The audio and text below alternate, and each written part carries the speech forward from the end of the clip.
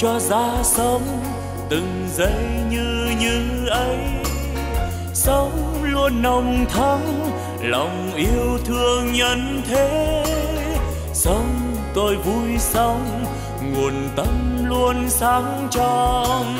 Sống an lành quá, lòng bao dung khắp nơi.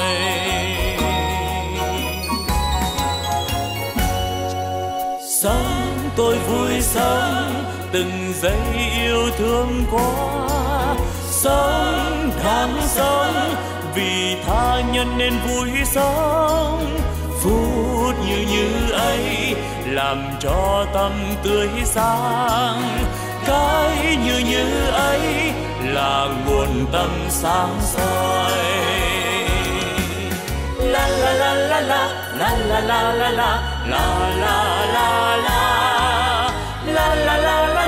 La la la la la la la la la nếu hay ra thế đời ta luôn luôn mới sống yêu thương mãi từ nay yêu thương mãi sống an vui thế đời ơi ta vui sống sống như như thế mùa xuân luôn thắm tươi.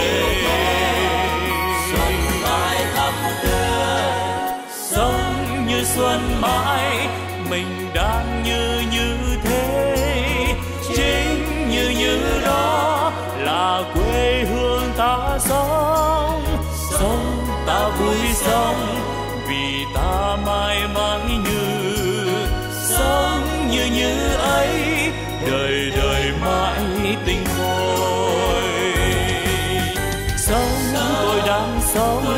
đời ơi, sao vui quá.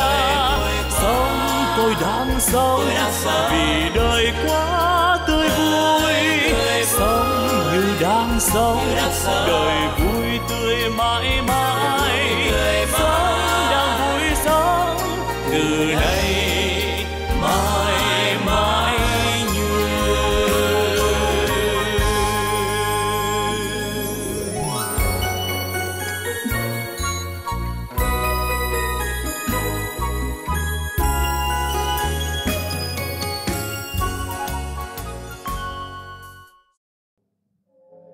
Nam mô Bổn sư Thích Ca Mâu Ni Phật.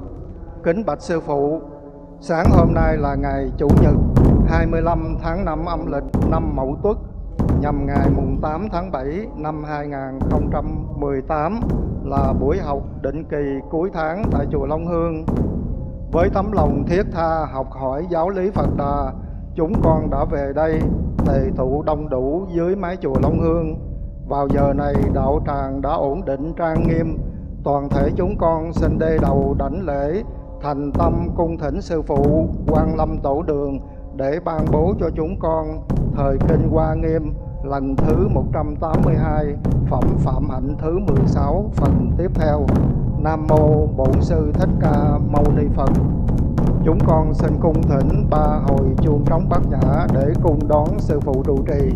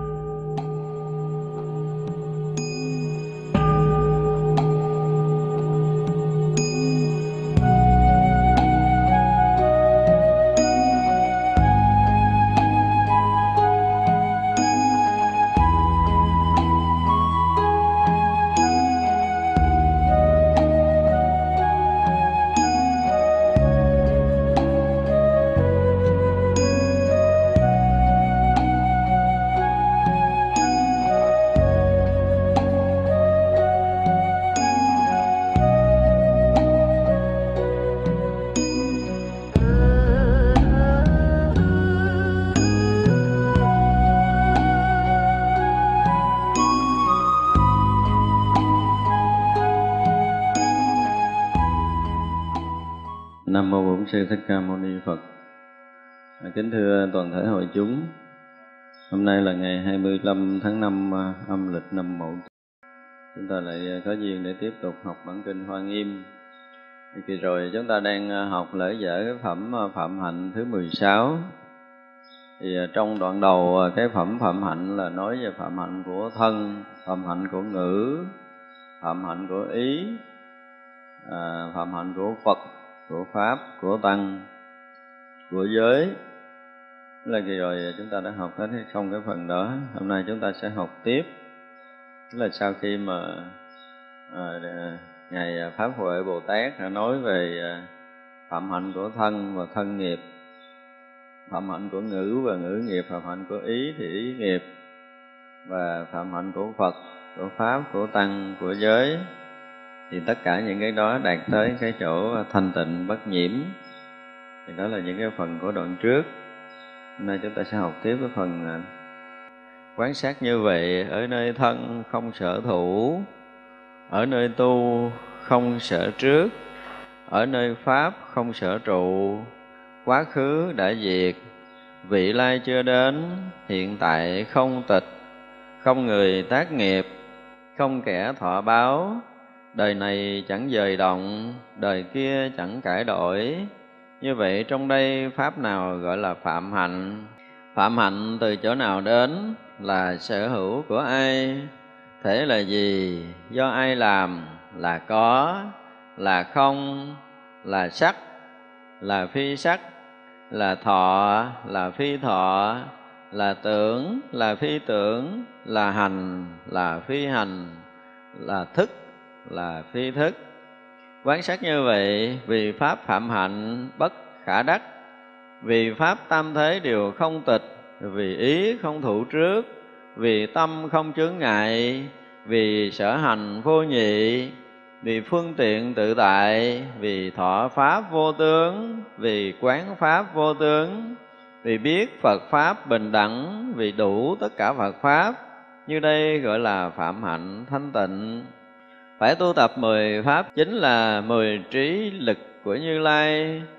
Phải quán sát mỗi trí lực, trong mỗi trí lực có vô lượng nghĩa đều phải han hỏi. Sau khi nghe, phải khởi tâm đại từ bi, quán sát chúng sanh mà chẳng bỏ lìa. Tư duy các pháp không có thôi dứt, thực hành nghiệp vô thượng.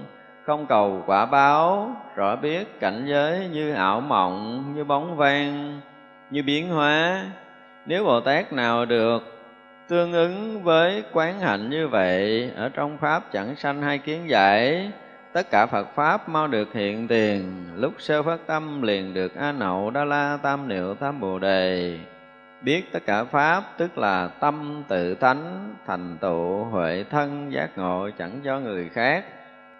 Đây là cái đoạn kết của cái thân và thân nghiệp, ngữ ngữ nghiệp, ý ý nghiệp và phật pháp tăng cũng như giới phạm hạnh. Thì sau khi ngài giảng giải những cái điều đó rồi, thì bây giờ ngài à, kết luận.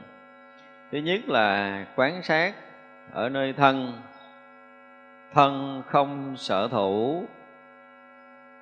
Giờ chúng ta bắt đầu học. Đây là cái đoạn mà cái quán sát có nghĩa là cái công phu thực tế rồi, chứ không còn trên lý luận nữa. Nếu chúng ta là cái người thực tu thì kể từ bắt bắt đầu bây giờ chúng ta trở lại trở lại cái cái công phu quán sát tu tập của mình. Nếu chúng ta mà quán sát lại như những lời đúc kết ở đây xem như là chúng ta thành tựu được công phu tu tập. Vì đây là một cái đoạn mà à, về lý thuyết thì nó cũng rất là chuyên sâu và về công phu thì nó rất là chuyên môn. Chúng ta cũng nên bắt đầu ha. Thứ nhất là bây giờ quán thân không sở thủ với chúng ta thì cái thân này là cái gì? Thân này là cái thân của mình. Nếu là của mình thì được gọi là năng thủ. Phải chưa? Là năng. Còn cái gì mà nó liên hệ tới cái thân mình thì gọi là sở. Nhưng mà thật sự khi mình nói ờ, cái này là thân mình. Thân mình là gì? Thân của mình.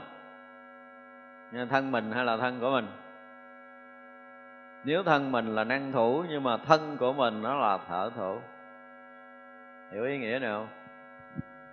Bây giờ ví dụ như nó là cái đầu này là mình, thì cái đầu này là năng, đúng không?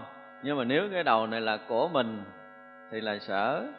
Tại vì mình là ai đó mới có cái thân này, cái thân này là của mình. Bây giờ thực sự thân này là của mình hay thân này là mình? Hả? Lâu nay chúng ta học đạo lâu rồi, bây giờ là cái thân này của mình hay là thân này là mình? Hả? Của mình, đúng không? Thân này là mình cũng không đúng mà của mình cũng sai luôn nữa. Không có phải là mình mà không phải của mình. Đức phật nói rất rõ, ở trong bản kinh là gì? Bản kinh căn bản ở trung bộ, đức phật nói là sao? Thân này không phải là ta, không phải là của ta, không phải là tự ngã của ta. Thành ra là thân này là mình, cũng không đúng mà của mình cũng là sai. Nhưng mà với cái nhìn của phàm phu, bây giờ chúng ta trở lại cái nhìn của phàm phu để chúng ta quán sát. Đây được gọi là công phu. Quán sát có nghĩa là chúng ta công phu tu tập. Đầu tiên thì mình à, trong cái lầm lẫn của thế gian, rõ ràng là người ta cho thân này là mình. Đúng không? Ví dụ như ngón tay mình đau, cái tôi, ngón tay tôi đau quá, tôi đau ngón tay quá, hoặc là tôi nhức đầu quá, hoặc là cái đầu tôi nhức quá. Tức có nghĩa là với cái người phàm phu thì những cái gì liên quan tới thân của toàn cái thân này là là mình. Đúng không? Không thể từ chối điều này được và tất cả những cái kiến giải của thế gian đều như thế. Bây giờ thỉnh thoảng thỉnh thoảng chỉ có một vài người biết nhưng mà một cách rất là mơ hồ hoặc là họ nói lộn là thân này là của tôi. Đúng không? Bây giờ có mấy phần trăm trong chúng ta mà hiểu biết một cách chính chắn là cái thân này là của mình nè. Chưa có bao nhiêu phần trăm hết á. Nói thân này là của mình thôi, để nó thành là bây giờ hồi nãy mình nói lại cái thân này là tôi, thì nó là gì? Là năng. Thì những cái gì liên quan tới cái áo này là của tôi thì nó là sở nhưng mà cái thân này của tôi thì cái thân này nó thuộc về sở. Thì một người học đạo mà kha khá chút đó, đây là những chuyện nói thì nghe nó thường.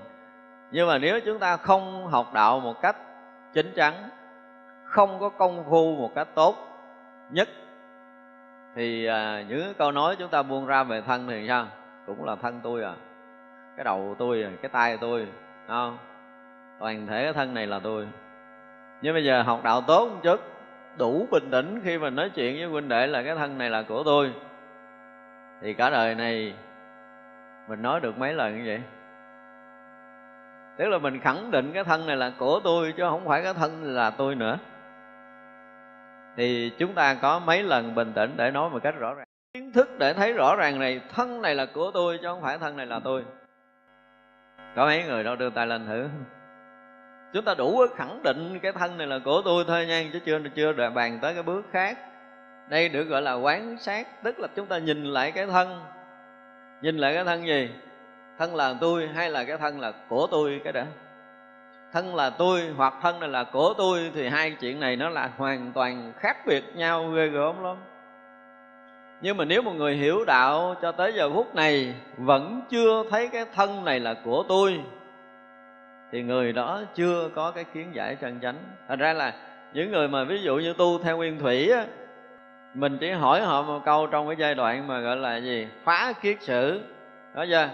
Phá kiết sử thì phá cái đầu tiên tiên là cái thân kiến ngay cả những cái vị mà giảng phá kiết sử luôn, hỏi một câu là, thưa thầy.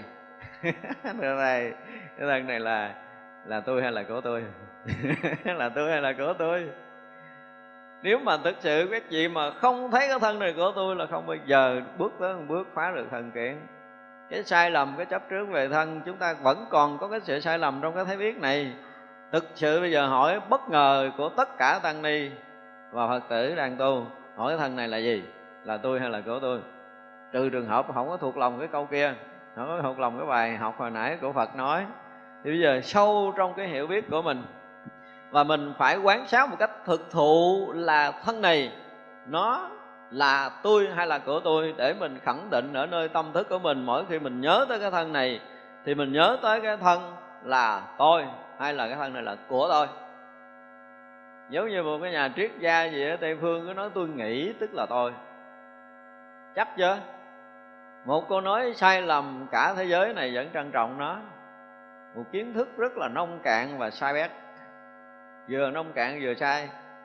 Chứ không có trốn vậy mà người ta cũng thành à, sách thành dở. Người ta cũng giới thiệu khắp thế giới và nhiều người thuộc câu này lắm. Và những người học đạo mà thuộc câu này là chấp nhận cho nó là hay thì chứng tỏ rằng người đó cũng không biết đạo lý gì. Đây là một cái điều để chúng ta phải thấy. Bây giờ chúng ta thực sự quán sát. Ở đây kêu chúng ta quán sát thì chúng ta quán sát có nghĩa là chúng ta dùng toàn tâm, toàn ý của mình mình hướng về cái thân này để thấy nó là tôi hay là của tôi trước cái đã. Đúng không? Nhưng mà thực sự khi chúng ta dùng tâm để chúng ta nhìn về cái thân, thì cái thân là cái gì? Là cái vị thấy tâm là cái năng thấy. Đúng không? Thì tâm có nghĩa là cái năng thấy. Thân là cái vị thấy đó, để chúng ta tách ra được, rõ ràng là cái thân này là là cái của tôi chứ không có thể nào thân này là tôi được. Nếu thân này là tôi thì cái thân nó sẽ biết được tất cả mọi cái liên quan tới thân. Đúng không? Thì cái tâm liên quan tới thân, cái thân có biết không? Không. Cái thân không bao giờ biết ngược lại cái tâm hết đó và chúng ta chưa có phân tích xa về cái thân này, nó chỉ là cái thân sắc chất. Và cái thân sắc chất này nó được kết tụ để hằng hà sa số những tế bào nó tới 84 rồi gì đó 84 triệu tế bào. Và còn nhiều hơn nữa.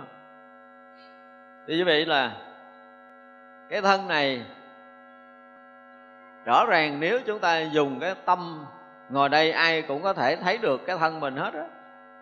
Đúng không? Bây giờ chúng ta chỉ cái lắng lòng, chúng ta để ý chút là mình thấy rõ ràng là mình thấy mình đang ngồi đây nè. Cái đây là một cái điều rất là thực tế, đòi hỏi chúng ta phải có một cái thấy thực từ cái bước này rồi muốn phá nó thì phá sao? Nhưng mà ít ra chúng ta phải thấy lại cái sự thật này một lần trong đời. Từ xưa giờ mình tu nhưng mà mình chưa bao giờ ngồi lại mình thấy, ủa, cái thân này là cái gì ta? Thân này là mình hay là của mình? Đúng không? Bây giờ là mình ngồi đây, mình chỉ cần à, nhắm mắt, lắng tâm chút là mình thấy à, cái thân mình đang ngồi. Mình thấy cái tay mình mình thấy chân mình mình thấy cả cơ thể của mình. Thậm chí mình biết được cái đầu của mình mình biết được tất cả những cái liên quan tới thân, trong thân này, trong thân ngoài thân thì mình đều biết hết. Thì cái mà được chúng ta biết, tức là cái đó là cái bị biết. Cái bị biết thì nó thuộc về sở, chứ nó không phải là năng. Nó là sở. Như nếu chúng ta chấp trước nó thì gọi là là sở thủ. Đúng không? Nếu chúng ta chấp trước nó thuộc về sở thủ thì ở đây gọi là nơi thân không sở thủ ở đây chỉ là đơn giản nói là không có thủ trước cái nơi thân. Tại sao vậy? Đó, tại sao không sở thủ? Khi chúng ta tu là chúng ta phải thấy cho ra lý do tại sao mình không thủ nó, mình không có trước, mình không có chấp nó. Thì bây giờ cái thân này rõ ràng là sở chứ không phải năng rồi đó. Thấy chưa? Bây giờ là ta ở đâu đó thì mình không biết. Nhưng mà ta biết rõ ràng là có cái thân này. Đúng không? Ta đang biết cái thân này đang ngồi đây, thì cái ta đó là cái gì chúng ta chưa cần bàn tới. Nhưng bây giờ cái biết này, đó, giờ cái biết cái thân đang ngồi đây nữa, cái biết này nó là cái gì? Nó vẫn đang bị biết nữa. chúng ta phải lên lớp nữa là cái biết này nó vẫn đang bị biết. Rồi đó là cái biết này đó là thấy mình sao?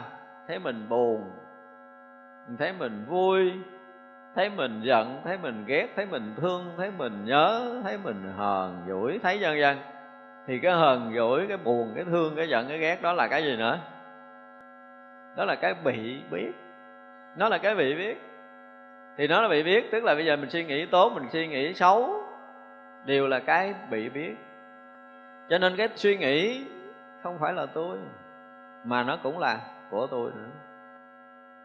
Chúng ta phải thấy được cái điều này thì cái đang suy nghĩ là tôi, hay là của tôi? Tôi suy nghĩ là của tôi nữa. Như vậy là tôi là cái thằng nào thì chưa biết mặt nó, nhưng mà cái thằng tôi này nó đang thấy suy nghĩ buồn thương giận ghét nè. Nó đang thấy cái thân này nè, thì như vậy là cái thân này và cái suy nghĩ đều là của tôi. Nó là sở, chứ nó không phải là năng. Thì bây giờ cái suy nghĩ là thân này Ờ, là đáng thương, đáng quý, đáng trọng, đáng thế này, đáng thế kia, đáng thế nọ, thì cái suy nghĩ đó là gì? Cũng là cái sợ chứ không phải là năng. Cái sợ là cái bên ngoài, cái năng là cái mà thấy được cái sợ đó. Như vậy là bây giờ bao nhiêu cái suy nghĩ để chấp trước về thân thì nó cũng là cái gì? Nó cũng là sợ chứ không phải là năng. Nó là khách chứ không phải là chủ. Mình tưởng tượng cái năng có nghĩa là chủ, cái sở có nghĩa là khách thì cái điều này dễ hiểu, đúng không? Dụng từ năng sở hơi, bị rườm rà khó hiểu, nhưng mà người chủ có nghĩa là năng. Chúng ta tạm hiểu vậy đi. Còn sở có nghĩa là khách. Chứ giờ mình ngồi trong nhà, mình thấy khách đi tới, lui đi vô, đi ra trong nhà của mình. Thì ý niệm cũng vậy, nó hiện ra giống như là khách đang hiện á. Phải không? Thì mình chấp cái thân này là thật, chấp cái thân này là không có thật. Thì đó có nghĩa là chúng ta đang chấp năng nhưng mình quý trọng cái thân này, cái thân này ai nói không được, ai đụng tới không được, ai hơn thua nó không có được. Không có được ăn hiếp nó, không có được làm gì với nó. Có nghĩa là cái năng chúng ta nó bị người ta đụng tới. Đúng không? Cái năng của chúng ta nó bị người ta chửi bới. Tức là gì? Tức là cái khách của mình đang bị chửi chứ không phải mình bị chửi. Mà mỗi lần bị chửi thì mình thấy mình bị chửi ha thấy cái thân này bị chửi? Đó, bây giờ mình học, mình đang tu, cái này là cái quán sát để tu tập. Chúng ta phải thấy ra một cái điều sai lầm của mình là tôi bị chửi, đúng không? Tôi bị chửi thì cái tôi bị chửi hay là cái thân tôi bị chửi? Cái thân tôi bị rầy hay là tôi bị rầy? Rõ ràng là cái thân của tôi đang bị người ta rầy à chứ tôi đâu có bị đâu. Cái người chửi tôi có biết tôi là ai không? Không có biết thấy hiện cái thân này nói vậy thôi nó tốt, khen tôi. Bây giờ người đó không biết làm sao, tự nhiên ờ, nó khen tôi quá trời. Không phải khen tôi, thấy tôi đâu mà khen khen cái thân của tôi là đẹp, chê cái thân của tôi là xấu. Có nghĩa là chê khách của tôi, chứ không phải chê chủ. Chúng ta phải hiểu được điều này, tại vì tôi tôi rõ ràng là không ai thấy tôi đâu. Tôi là cái gì thì tới giờ phút này mình chưa từng thấy tôi nữa, tôi còn chưa biết tôi là ai. Phải nói như vậy đó đúng không? Thì bây giờ cái người mà bị tôi thấy, thì tôi cũng thấy mặt tôi nó xấu vậy. Tôi cũng thấy cái khách này nó xấu, tức là cái mặt của tôi nó cũng xấu như người ta chửi vậy. Đúng không? Cái mặt của tôi nó cũng không có đẹp như người ta chê. Vì nó là khách. Và khách thì sao? Để mình trân trọng khách thì biến khách thành chủ là cái thấy sai lầm của mình từ trước đến giờ. Ít ra chúng ta phải thấy được cái này thì mọi chuyện nó là gì? Bắt đầu nhẹ rồi đó nhẹ liền, đúng không? Rõ ràng là đang nói về cái thân thì cái thân mình là khách. Như bao nhiêu người khách khác, nhưng mà ông khách này ông thường trực quá kiến rồi ông thành chủ luôn. Đúng không? Chứ mà ông lâu lâu ông tới bữa đó thì à, mình có thể nhận ra ông là khách, nhưng mà ông này là ông thường trực quá. Lúc nào có mình cái có ổng à. Đúng không? Khi mà mình cảm giác có mình ở đâu đó thì mình cảm giác là có cái thân này. Khi mình cảm giác mình ngồi đây cái là cái thân này ngồi đây. Cảm giác mình đi cái cái thân này đi. Cảm giác mình đứng cái thân này đứng, cảm giác mình nói chuyện thì cái thân này nói chuyện. Thì rõ ràng là cái thân này nó khắng khích với mình, gần như là chủ. Nhưng mà có phải chủ không? Không rõ ràng là mình tác ý mình đưa tay lên thì cái tay nó đưa lên, mình tác ý mình để tay xuống thì cái tay nó xuống thì rõ ràng nó bị sai sử chứ nó không phải là chủ. Nó tác ý muốn mình nói chuyện thì mình nói chuyện, tác ý dừng cái mình dừng à thì nó đâu phải chủ. Nó là cái bị sai sử bị biến, nó là khách. Nhưng bây giờ chúng ta đủ sức để thấy nó là khách không cái đã? Cho nên rất là nhiều người kiến giải Phật pháp tức cười lắm, học đạo thấy vậy, chỗ này còn chưa thông nó đòi thành Phật mất rồi. Đổi tâm mình an đổi tâm mình thanh tịnh. Thanh cái con khỉ gì nổi mà thanh. Ba cái kiến giải này mà chưa rõ mà lấy gì thanh. Đấy chưa? rõ ràng là chúng ta chưa có phân biệt được khách và chủ ở nơi thân tâm này thì không thể nào đi sâu vào công phu được. Đây cho nên chúng ta phải quán sát cho thật kỹ để cho chúng ta thấy từ đây cho tới suốt cuộc đời còn lại của mình. Mỗi khi nhớ tới thân là biết nó là khách. Đơn giản như vậy thôi, biết nó là khách. Thì bây giờ cái thằng khách nó đang đau. Đúng không? Ngồi thiền cái chân đang đau, mình là chủ, mình ngồi dòm cái đau chơi được không? Chịu nổi không? Hồi cái tôi đau quá trời, cái tôi buông chân lúc đầu mình cũng tỉnh lắm, mình thấy rõ ràng là cái chân của tôi nó đau. Cái chân của tôi nó đang đau. Nhưng mà cái chân đau hồi cái thành tôi đau. Đúng không vậy đây là mình thấy rõ. Cho nên khi quán sát là nếu như chúng ta công phu, tại vì thực sự tôi nói tôi nói là trước rồi, tôi nói là tứ niệm xứ tôi giảng đó là lý thuyết. Nhưng mà khi chúng ta công phu là một ngàn lần sai khác mà, tôi nói là sai khác kinh rùng ra cái chuyện mà an tịnh toàn thân, hồi đó thì mình chưa nói, mình chỉ nói suông đã nói qua từ cái lý thuyết nó thôi. Nhưng mà khi đến cái lúc mà an tịnh toàn thân ta hết vào, an tịnh toàn thân ta thở ra thì là một chuyện khác của công phu à. Công phu thì phải là an tịnh như thế nào? Nhưng mà lý thuyết thì mình nói rồi.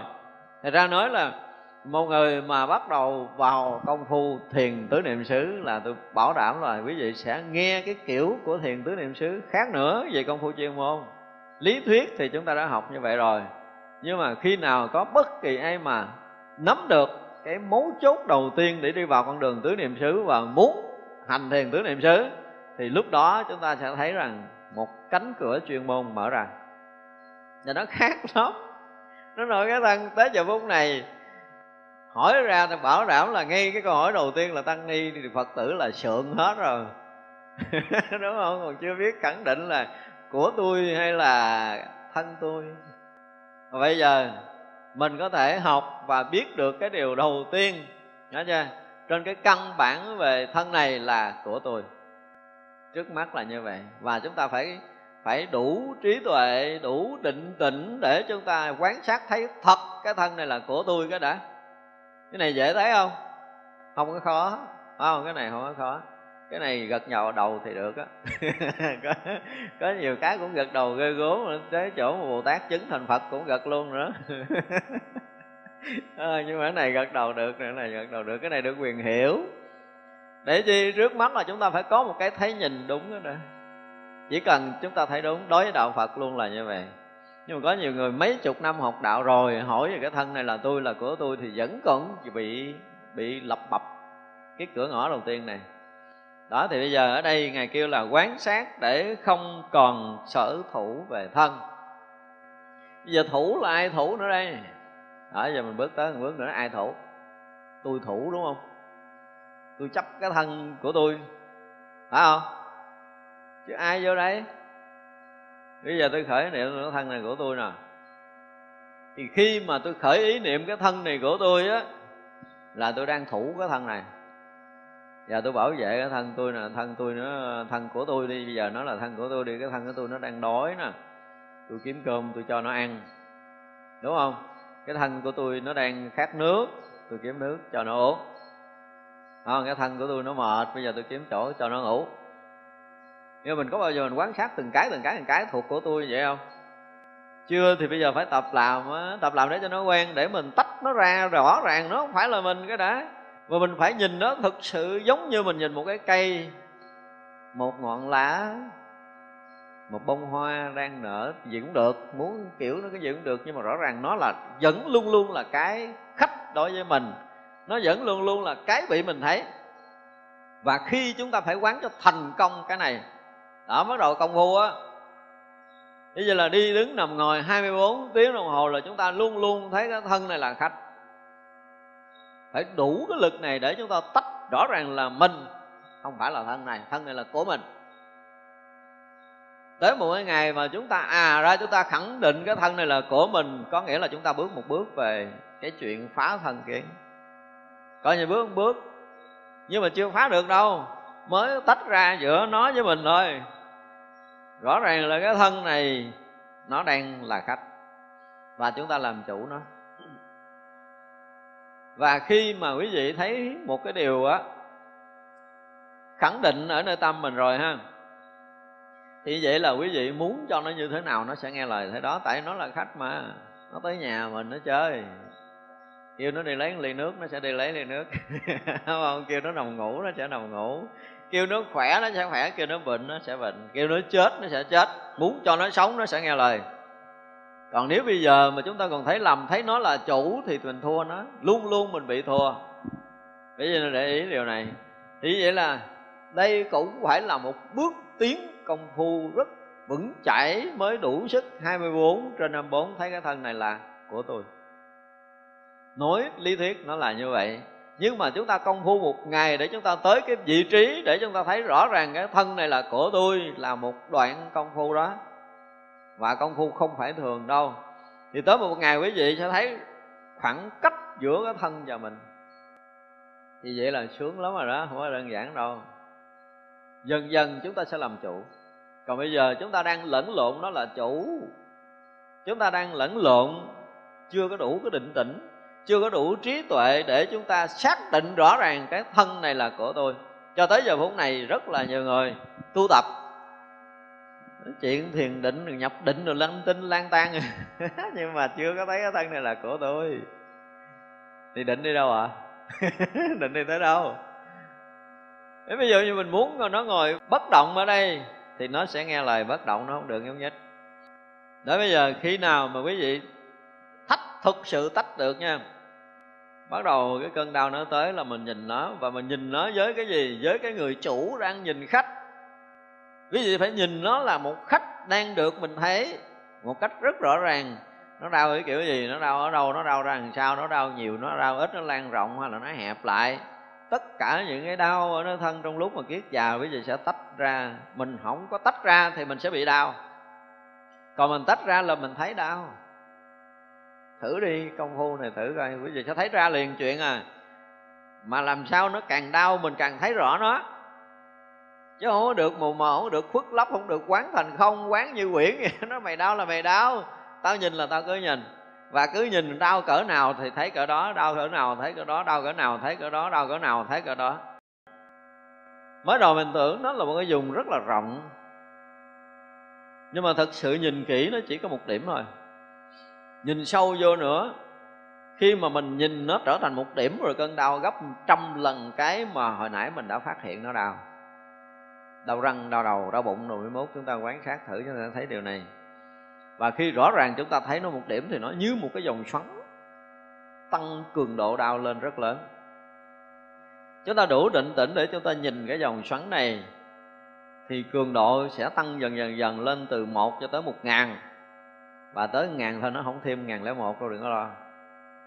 Thì cái cơn đau nó sẽ giảm tới chín chín trăm, chín mươi chín dần dần xuống, còn trăm, dần dần xuống là còn mười, dần dần xuống là đến một cái điểm. Nó chỉ thực sự là một điểm chứ nó không có sống nữa. Và một điểm đó nó sẽ tan biến với cái nhìn cái này. Chúng ta sẽ thiền trước cơn đau. Thì cái nhức đầu, cái đau bụng, cái gì đó, quý vị thử đi. Ngay cả những người đang lên cái cái gì đó, cơn đau tim mà chúng ta nằm như vậy để chúng ta thấy hoặc là chúng ta ngồi thẳng lưng, hít thở sâu để chúng ta thấy điều này cái cơn đau tim nó cũng sẽ dịu xuống giống như mình. Nói hồi nãy giờ, ít ra chúng ta phải thiền một lần để thấy đường thân này ra bên. Nếu mà thực sự ha, chúng ta quán sát đạt tới cái điều này trong công phu, thì sẽ đảm bảo là bây giờ sẽ nhẹ rất là nhiều ít lắm là 3 tới 40 phần trăm trong công phu hiện có của mình bây giờ. Sau khi chúng ta thành công cái bước quán thân này để thấy thật sự cái thân này là của mình. Và không có còn cái lý do nào, nó không phải là của mình hết tại vì cái gì động dụng nó cũng bị mình thấy hết mà. Mọi cử động rất nhỏ của nó bị mình thấy, thì rõ ràng nó là khách. Và thực sự với mình là đóng dấu sâu nơi tâm thức của mình, cái thân này là khách, cái đã thì vui buồn à, khổ ờ, hay là sướng của thân thì cũng là khách thôi. Như vậy là mình sẽ nhẹ đi cái chấp trước thân cho. Nhẹ tám chục phần trăm luôn chứ đừng nó năm chục nhưng vẫn thấy nó là chủ thì mình bị dính lại. Tức là mình đang bị gì? Sở thủ với thân nhưng mà khi quán sát để mình thấy hết vậy là không còn sở thủ với thân này nữa tại mình là cái người khác, mình không phải là thân này. Cho nên đức phật nói là thân này không phải của ta. Nhưng mà chúng ta chưa bàn tới cái này. Chúng ta chưa bàn tới cái câu thân này không phải là của ta. Mà chúng ta đang bàn tới cái chuyện là thân này là của ta. Trước khi muốn thấy nó không phải là của ta, thì phải thấy nó là của ta trước đi nó là của ta, nó là khách đang được mình ngắm nghía nó, đang được mình soi chiếu nó đang được mình quan sát nó, đang được mình hướng tới nó để mình thấy một cách rất rõ ràng. Bây giờ toàn chúng mình thấy chắc chắn trăm phần trăm cái thân này là của mình chưa chắc không? Chắc đây nhưng mà chút tới hồi ngồi thiền đau chân chắc không?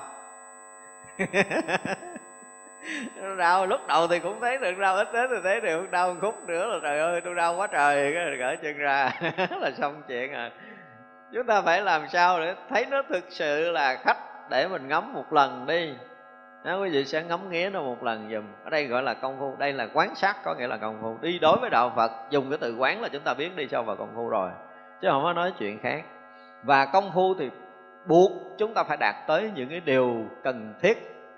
Ở đây phật tổ muốn nói là gì? Chúng ta phải thấy nó là sở thủ của riêng mình. Rõ ràng là sở thủ của riêng mình đúng không? Nếu nó không phải là của mình thì thủ chi? Ví dụ như bây giờ mình có tiền, thì mình nói tiền này của tôi nè. Tiền này của tôi cho nên tôi giữ, chứ tiền của người ta tôi giữ làm chi? Tôi không giữ dùm đâu, không mất công này. Đúng không? Rõ ràng là cái sở thủ có nghĩa là cái riêng tư. Bây giờ cái thân này là của mình, là của riêng mình, là sở hữu của mình. Bây giờ ai đụng tới không được rồi nha. Lại mày làm chứ không cho đụng tới tôi à. Đụng tới tôi là có chuyện á. Đúng không? Nó là sở thủ. Nhưng mà đụng tới cái của tôi là sẽ không có chuyện. Nhưng mà đụng tới tái đụng tôi là có chuyện. Nhưng mà đụng của tôi có chuyện không? Không. Đụng của tôi nhẹ tưng liền. Thử đi. Giống như bây giờ mình à, mình đạp gai. Ngồi xuống mình xích so đau quá tôi đau quá đau đau quá trời ơi sao mà đau quá. Nhưng mà thấy cái bà kia đạp gai thì mình có đau không? Không không có đau liền à. Chúng ta thấy rất rõ ràng điều này khi chúng ta quan sát để thấy rằng đức phật dạy những cái điều cơ bản mà nếu chúng ta học được, chúng ta làm được là một bước tiến hóa của mình. Mà thấy cái này thực sự là cả một cái công phu thực sự và cả trí tuệ chính chắn thật sự. Nói mình có chánh kiến ở nơi thân, thì khi phá thân kiến có nghĩa là cái thấy biết sai lầm của thân để chúng ta tái lập lại cái chánh kiến của thân. Thì khi có đủ chánh kiến của thân thì kiến chấp về thân, sai lầm đã được phá vỡ. Thì mới phá được thân kiến. Chứ đâu phải dễ gì. Nhưng mà lâu nay chúng tôi cũng nghiên cứu rất là nhiều cái tài liệu nói về phá thân kiến thử. Tức là đương nhiên là khi mình muốn nói theo cái lý của mình thì mình phải nghiên cứu người ta nói kiểu gì nhưng mà rõ ràng những người nói chỉ là trên ảo tưởng, chưa có thấy cái thật thân của tôi lấy gì phá. Còn thấy thân là tôi phá chết giấc liền. Phá tám ngàn kiếp sau cũng giải quyết được chuyện của cái thân kiến nữa.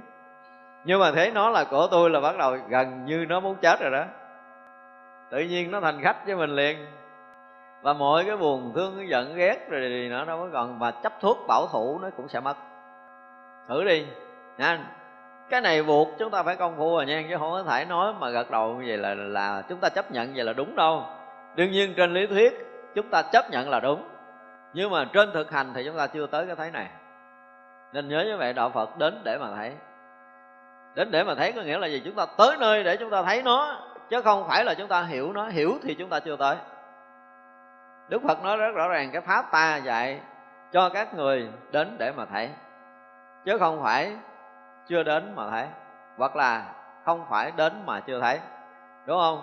Pháp của ta dạy cho những người có mắt để thấy, chứ không phải dạy cho những người không mắt, không thể thì bây giờ chúng ta phải đến cái nơi riêng tư nhất của mình từ trước tới giờ. Cửa nhà của mình có cái ổ ngã chấp của mình. Phải dùng cái từ là cái ổ ngã chấp của mình. Mình chấp kinh khủng, tôi nói rụng một cọng tóc thôi là đã thấy buồn rồi. Thầy ơi, tóc con bắt đầu nó rụng nhiều lắm thầy, không biết làm sao tôi nói mốt trọc khỏi mất công cạo.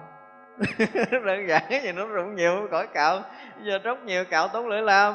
Vậy mà cũng lo rụng nhiều tóc con thưa xấu à. Nó nói đơn giản là rụng thì mốt khỏi mất công cạo tức là lo rụng một cọng tóc mình cũng đã lo rồi, thì rõ ràng mình có bảo thủ chấp trước không? Tự nhiên soi kiến thấy rồi mặt tôi nay bị tràn ngang ngay cái gò má nè. Hỏng tài rồi. Đúng không? Tự nhiên nọc một đen ngay gò má hỏng tài thiệt cái nha cũng lo. Thật ra là tất cả mọi cái mà liên quan tới cái thân chúng ta lo, Có nghĩa là chúng ta đang chấp trước cái thân này là mình. Chứ chúng ta nếu mà thực sự thấy cái thân này là của mình Thì khác lắm lắm luôn á. Đó, Chúng ta phải để ý đây là bước một công phu. Và dứt khoát chúng ta phải công phu tới đây. Đó, Nếu mà chúng ta không chịu công phu để thấy thật cái điều này Thì chúng ta vất giả gian tuân một đời này phí uổng. Để kiến giải đầu tiên cơ bản nhất để không thấy cái thân này là mình á mình phá được cái này thấy vậy là một cửa ngõ lớn mới bắt đầu bước vào chân trời Phật pháp được. Ví dụ chưa làm được điều này tôi chấp á, công phu kiểu gì đi? Ăn chay nằm đất khổ hạnh cả đời. Giải quyết được cái gì đâu. Ở cho thành ra chỉ cần đơn giản mới mốt mà nếu chúng ta đi học đạo ở đâu mà dạy mình tu cái kiểu mà khóa sắc ấm gì đó ha chúng ta chỉ cần à, hỏi thử con thầy cũng thấy tới đâu về cái sắc ấm này thôi là thưa thầy theo cái thấy của thầy, cái thân này là là thầy hay là cái thân này là của thầy? Cơ bản vậy thôi. Thì người ta sẽ trả lời mình biết là cao thủ hay là sao rồi? Thánh giả hay là thánh thiệt? Nói còn người đâu thấy thân là rồi của tôi là cái khác liền. À, ra người thể dĩ tại sao người ta tự tại được? Tại vì tôi ta thấy rõ ràng nó là khách mà. Bây giờ khách mình muốn giữ nhà mình chơi mình muốn cho nó đi ra là, là quyền của mình chứ đúng không? Muốn đuổi nó đi là mình đuổi tại nó khách. Đúng không? Muốn giữ nó thì giữ không giữ thì thôi. Cái xe này của tôi bây giờ tôi muốn để tôi chạy thì tôi chạy còn không chạy tôi bán. Tại vì nó là của tôi của tôi thì tôi có quyền. Bây giờ tôi muốn nó mập. Nghe lời tao phải mập mà nha. Ba ngày mày không mập, tao đuổi mày đi. Thì ba ngày sau nó phải mập lên, muốn nó ốm, ba ngày sau nó ốm, muốn nó bệnh thì mày phải bệnh. Còn muốn khỏe là mày không được quyền cãi, mày phải khỏe lên. Để nó là của mình. Và của mình thì mình sẽ làm chủ. Còn nó là mình thì nó làm chủ mình. Mình ở đâu không biết, nhưng mà bị ờ, tôi khổ quá cái khóc à. Tôi thấy tôi khổ quá cái tôi khóc đúng không? Nhưng mà tôi thấy cái thân này khổ, tôi khóc không? Khóc. Nhưng mà cái thân của tôi khóc chứ đâu phải tôi khóc đâu. Đúng không? Cái thân này khóc. Cái thân của tôi nó khóc. Thì vậy là tôi không có khổ à tôi đang thấy nó khóc à chứ không phải là tôi khổ. Đúng không? Nhưng mà tôi thấy cái thân này là tôi thì tôi khóc và tôi khổ. Nhưng cái thân này là của tôi thì cái thân khóc nhưng mà tôi không khổ. Đúng không? Nếu chúng ta khi mà chúng ta đã thấy nó là của tôi rồi là mọi chuyện gần như đã khác hẳn lắm rồi. Mặc dù nó là một cái điều rất là thấp đối với Phật pháp, nhưng mà chúng ta không bước một bước này là cả đời chúng ta đừng có hồng mà công phu. Cho nên ở đây chúng ta phải quán sát thật rõ về cái thân này. Theo cái nghĩa của ngài pháp huệ, nó là phải quán sát có nghĩa là tu tập, phải công phu.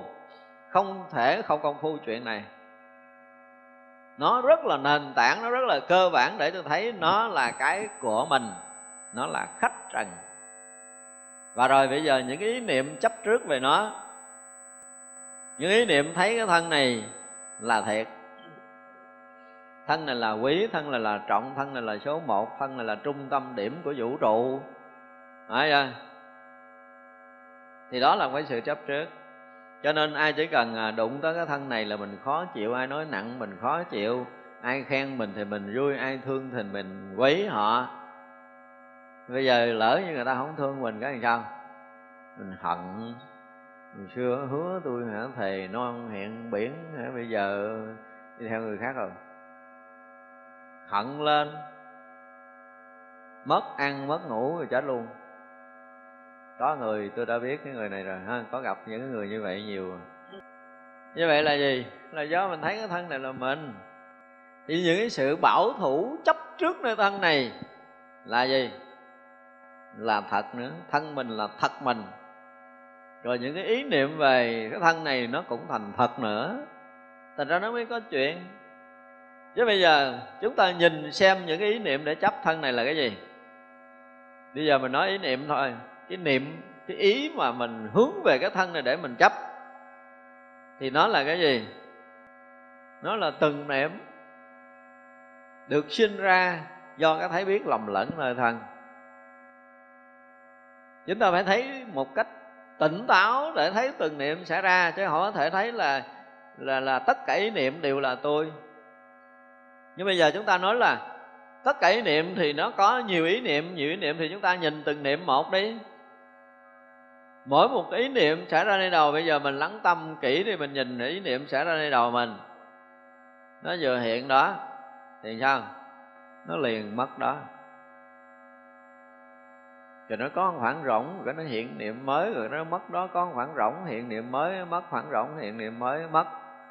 Mà không có kịp làm gì hết trơn nó mới hiện lại. Mình cảm cảm giác mình vui, dễ sợ luôn. Cái chuyện ngày hôm qua gặp một cái người mà họ vừa lòng vừa ý mình thì nọ tùm lum tất cả những ý niệm đó mình vừa cười, chưa kịp cười cái nó biến mất tiêu à. Đúng không? Hoặc là bao nhiêu ý niệm buồn nó khải lên. Nhưng mà không phải hết những ý niệm này mình hết buồn đâu mà từng ý niệm một nó khởi, nó tắt, nó khởi, tắt khởi, tắt một cách liên tục. Khởi, tắt, rỗng, khởi, tắt, rỗng, khởi, tắt, rỗng, chúng ta phải thấy rõ ràng. Nếu chúng ta mà ngồi thiền thì chúng ta phải thấy cái khoảng cách giữa hai ý niệm nó rõ ràng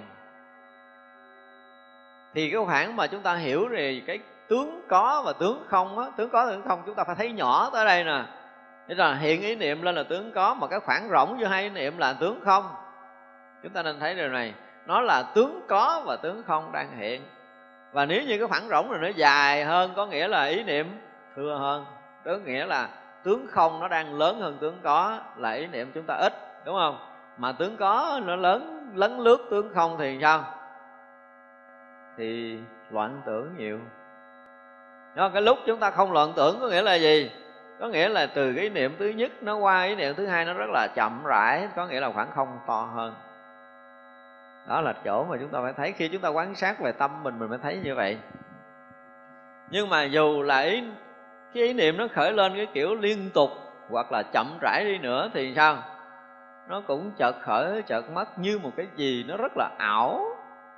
Nó không có thật vì nếu nó thật, mình có thể giữ lại được nó. Nó thật, nó sẽ tồn tại với không gian và thời gian. Đúng không? Bây giờ rõ ràng tất cả những ý niệm đó có ý niệm nào còn không? Mà mình có công phu gì để cho nó mất hay không? Đây là cái mà mình phải thấy nè. Bây giờ xét lại thời gian nó đang hiện ra ở đây. Nó hiện lên rồi, mình làm gì cho nó mất không? Đừng nói tu tu tu trừ ý niệm. Đó nha tôi dẹp ý niệm tôi đè ý niệm rồi nó, nó vừa khởi là tôi chém nó vừa khởi là tôi chém nó đem gươm bắt nhã để chém chém chém chém. Công phu nhiều người diễn tả cũng vui vậy đó. Nhưng mà chém có kịp đâu. Quý vị mà kịp chém một ý niệm bao nhiêu tiền tôi thường hết cho không có kịp. Nó chợt khởi là nó đã mất rồi. Như vậy ý niệm này nó không phải tồn tại với không gian và thời gian. Nó là vọng nó là ảo tướng hiện ra. Và ai trong chúng ta thực sự thấy tất cả ý niệm là vọng, là ảo, đưa tay lên coi thử coi.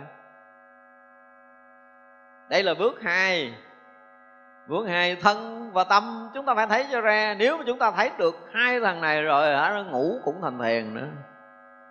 Khỏi cần ngồi công phu. Bây giờ mình ngồi ngồi có mình thấy sao? Tâm tôi nó động quá không bữa nào mà ngồi tốt Ồ, bữa nay tâm tôi nó yên quá. Tâm tôi là cái gì? Tâm tôi là những ý niệm động nhiều hoặc động ít. Tôi bị loạn tưởng tôi được bình yên. Có nghĩa là hai ý niệm nó thưa thớt một chút mình cảm giác mình yên. Nhưng mà hai ý niệm nó khắng khích một chút cái mình cảm giác mình bị bị gì? Bị vọng tưởng bị loạn tưởng. Đúng không? Lúc mà ý niệm nhiều mình thấy mình bị loạn tưởng còn cái tư tưởng mà được gọi là cái vọng á ngay cái từ vọng đi nữa, chúng ta cũng chưa có đủ cái trí để chúng ta hiểu cái từ vọng này là cái gì nữa. Chúng ta chưa đủ cái trí để minh định cái vọng là một cái gì. Tất cả những thứ hiện hữu mà nó không được tồn tại bởi thời gian và không gian nó không dừng lại. Nó thật rất là ảo mà chúng ta muốn giữ nó, chúng ta giữ cũng không được. Nó tan còn nhanh hơn bọt nước biển. Không có cần chúng ta chạm tới nữa. Nó cũng tự tan. Thấy chưa? Như vậy là cái mà đang thấy của mình và cái ý niệm đang khởi lên thì rõ ràng là ý niệm luôn luôn khởi và cái thấy luôn luôn thấy. Thì cái ý niệm được khởi lên là cái gì?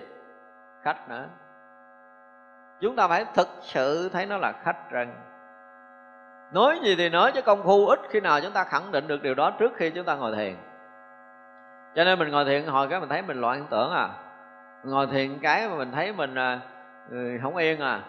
Mình ngồi thiền cái mình thấy mình à, biết làm sao nghĩ chuyện quá khứ gì lai hoài ha. Đúng không? Rất là khi mình ngồi lại bao nhiêu chuyện xảy ra. Xảy ra thì xảy ra mình là giọng thì mày cứ giọng mày giọng là rõ ràng mày là giọng mày nhiều thì ít mày cũng là giọng. Rõ ràng mày là ảo thì nhiều ít mày cũng là ảo. Dù chất một núi ảo nó cũng là ảo. Đúng không? Giống như bây giờ mình tưởng tượng đi. Có những người mỗi sáng đi ra ở ngoài vườn của mình. Cũng còn một số cái giọt sương nó động trên cái ờ, đọt lá cái ánh nắng chiếu xuống cái nó chiếu, ống ánh giống như kim cương nữa mừng quá, tưởng gặp nguyên ổ, sách nguyên xô ra đụng nhiều hột nước hốt hết, bỏ vô xô. Sách nhà gọi, ủa, đâu giống kim cương đâu. Là tại sao vậy? Tại vì tôi thấy ảo. Cái ảo ống ánh nó là ảo, nhưng mà cuối cùng mình thấy nó tưởng kim cương thiệt, cho nên mình hốt vô. Mà mình có làm giống vậy không vậy? Mình làm còn nhiều hơn như vậy nữa.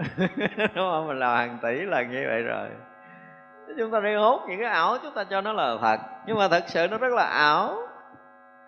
Và khi nào mà thật tâm chúng ta thấy tất cả những cái động niệm ở nơi tâm mình là ảo một lần và thực thấy như vậy.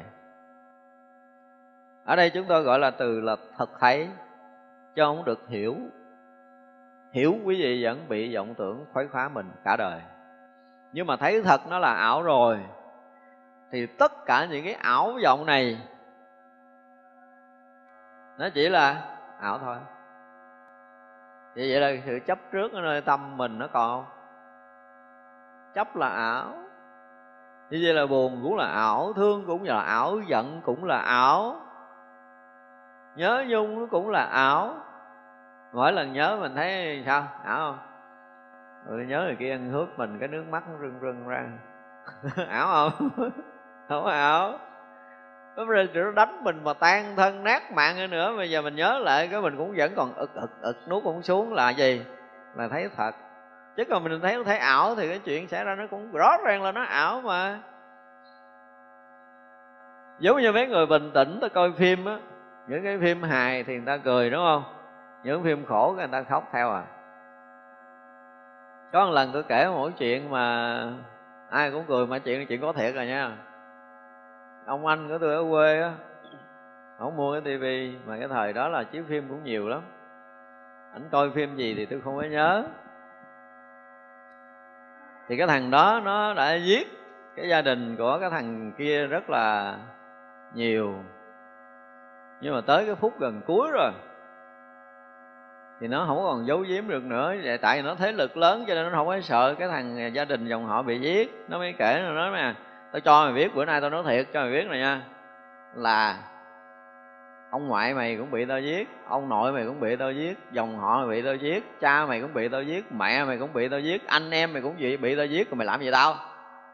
Cái ông kia, ông đứng dậy, ông vỗ bằng cái rầm tôi giết mày chứ làm gì?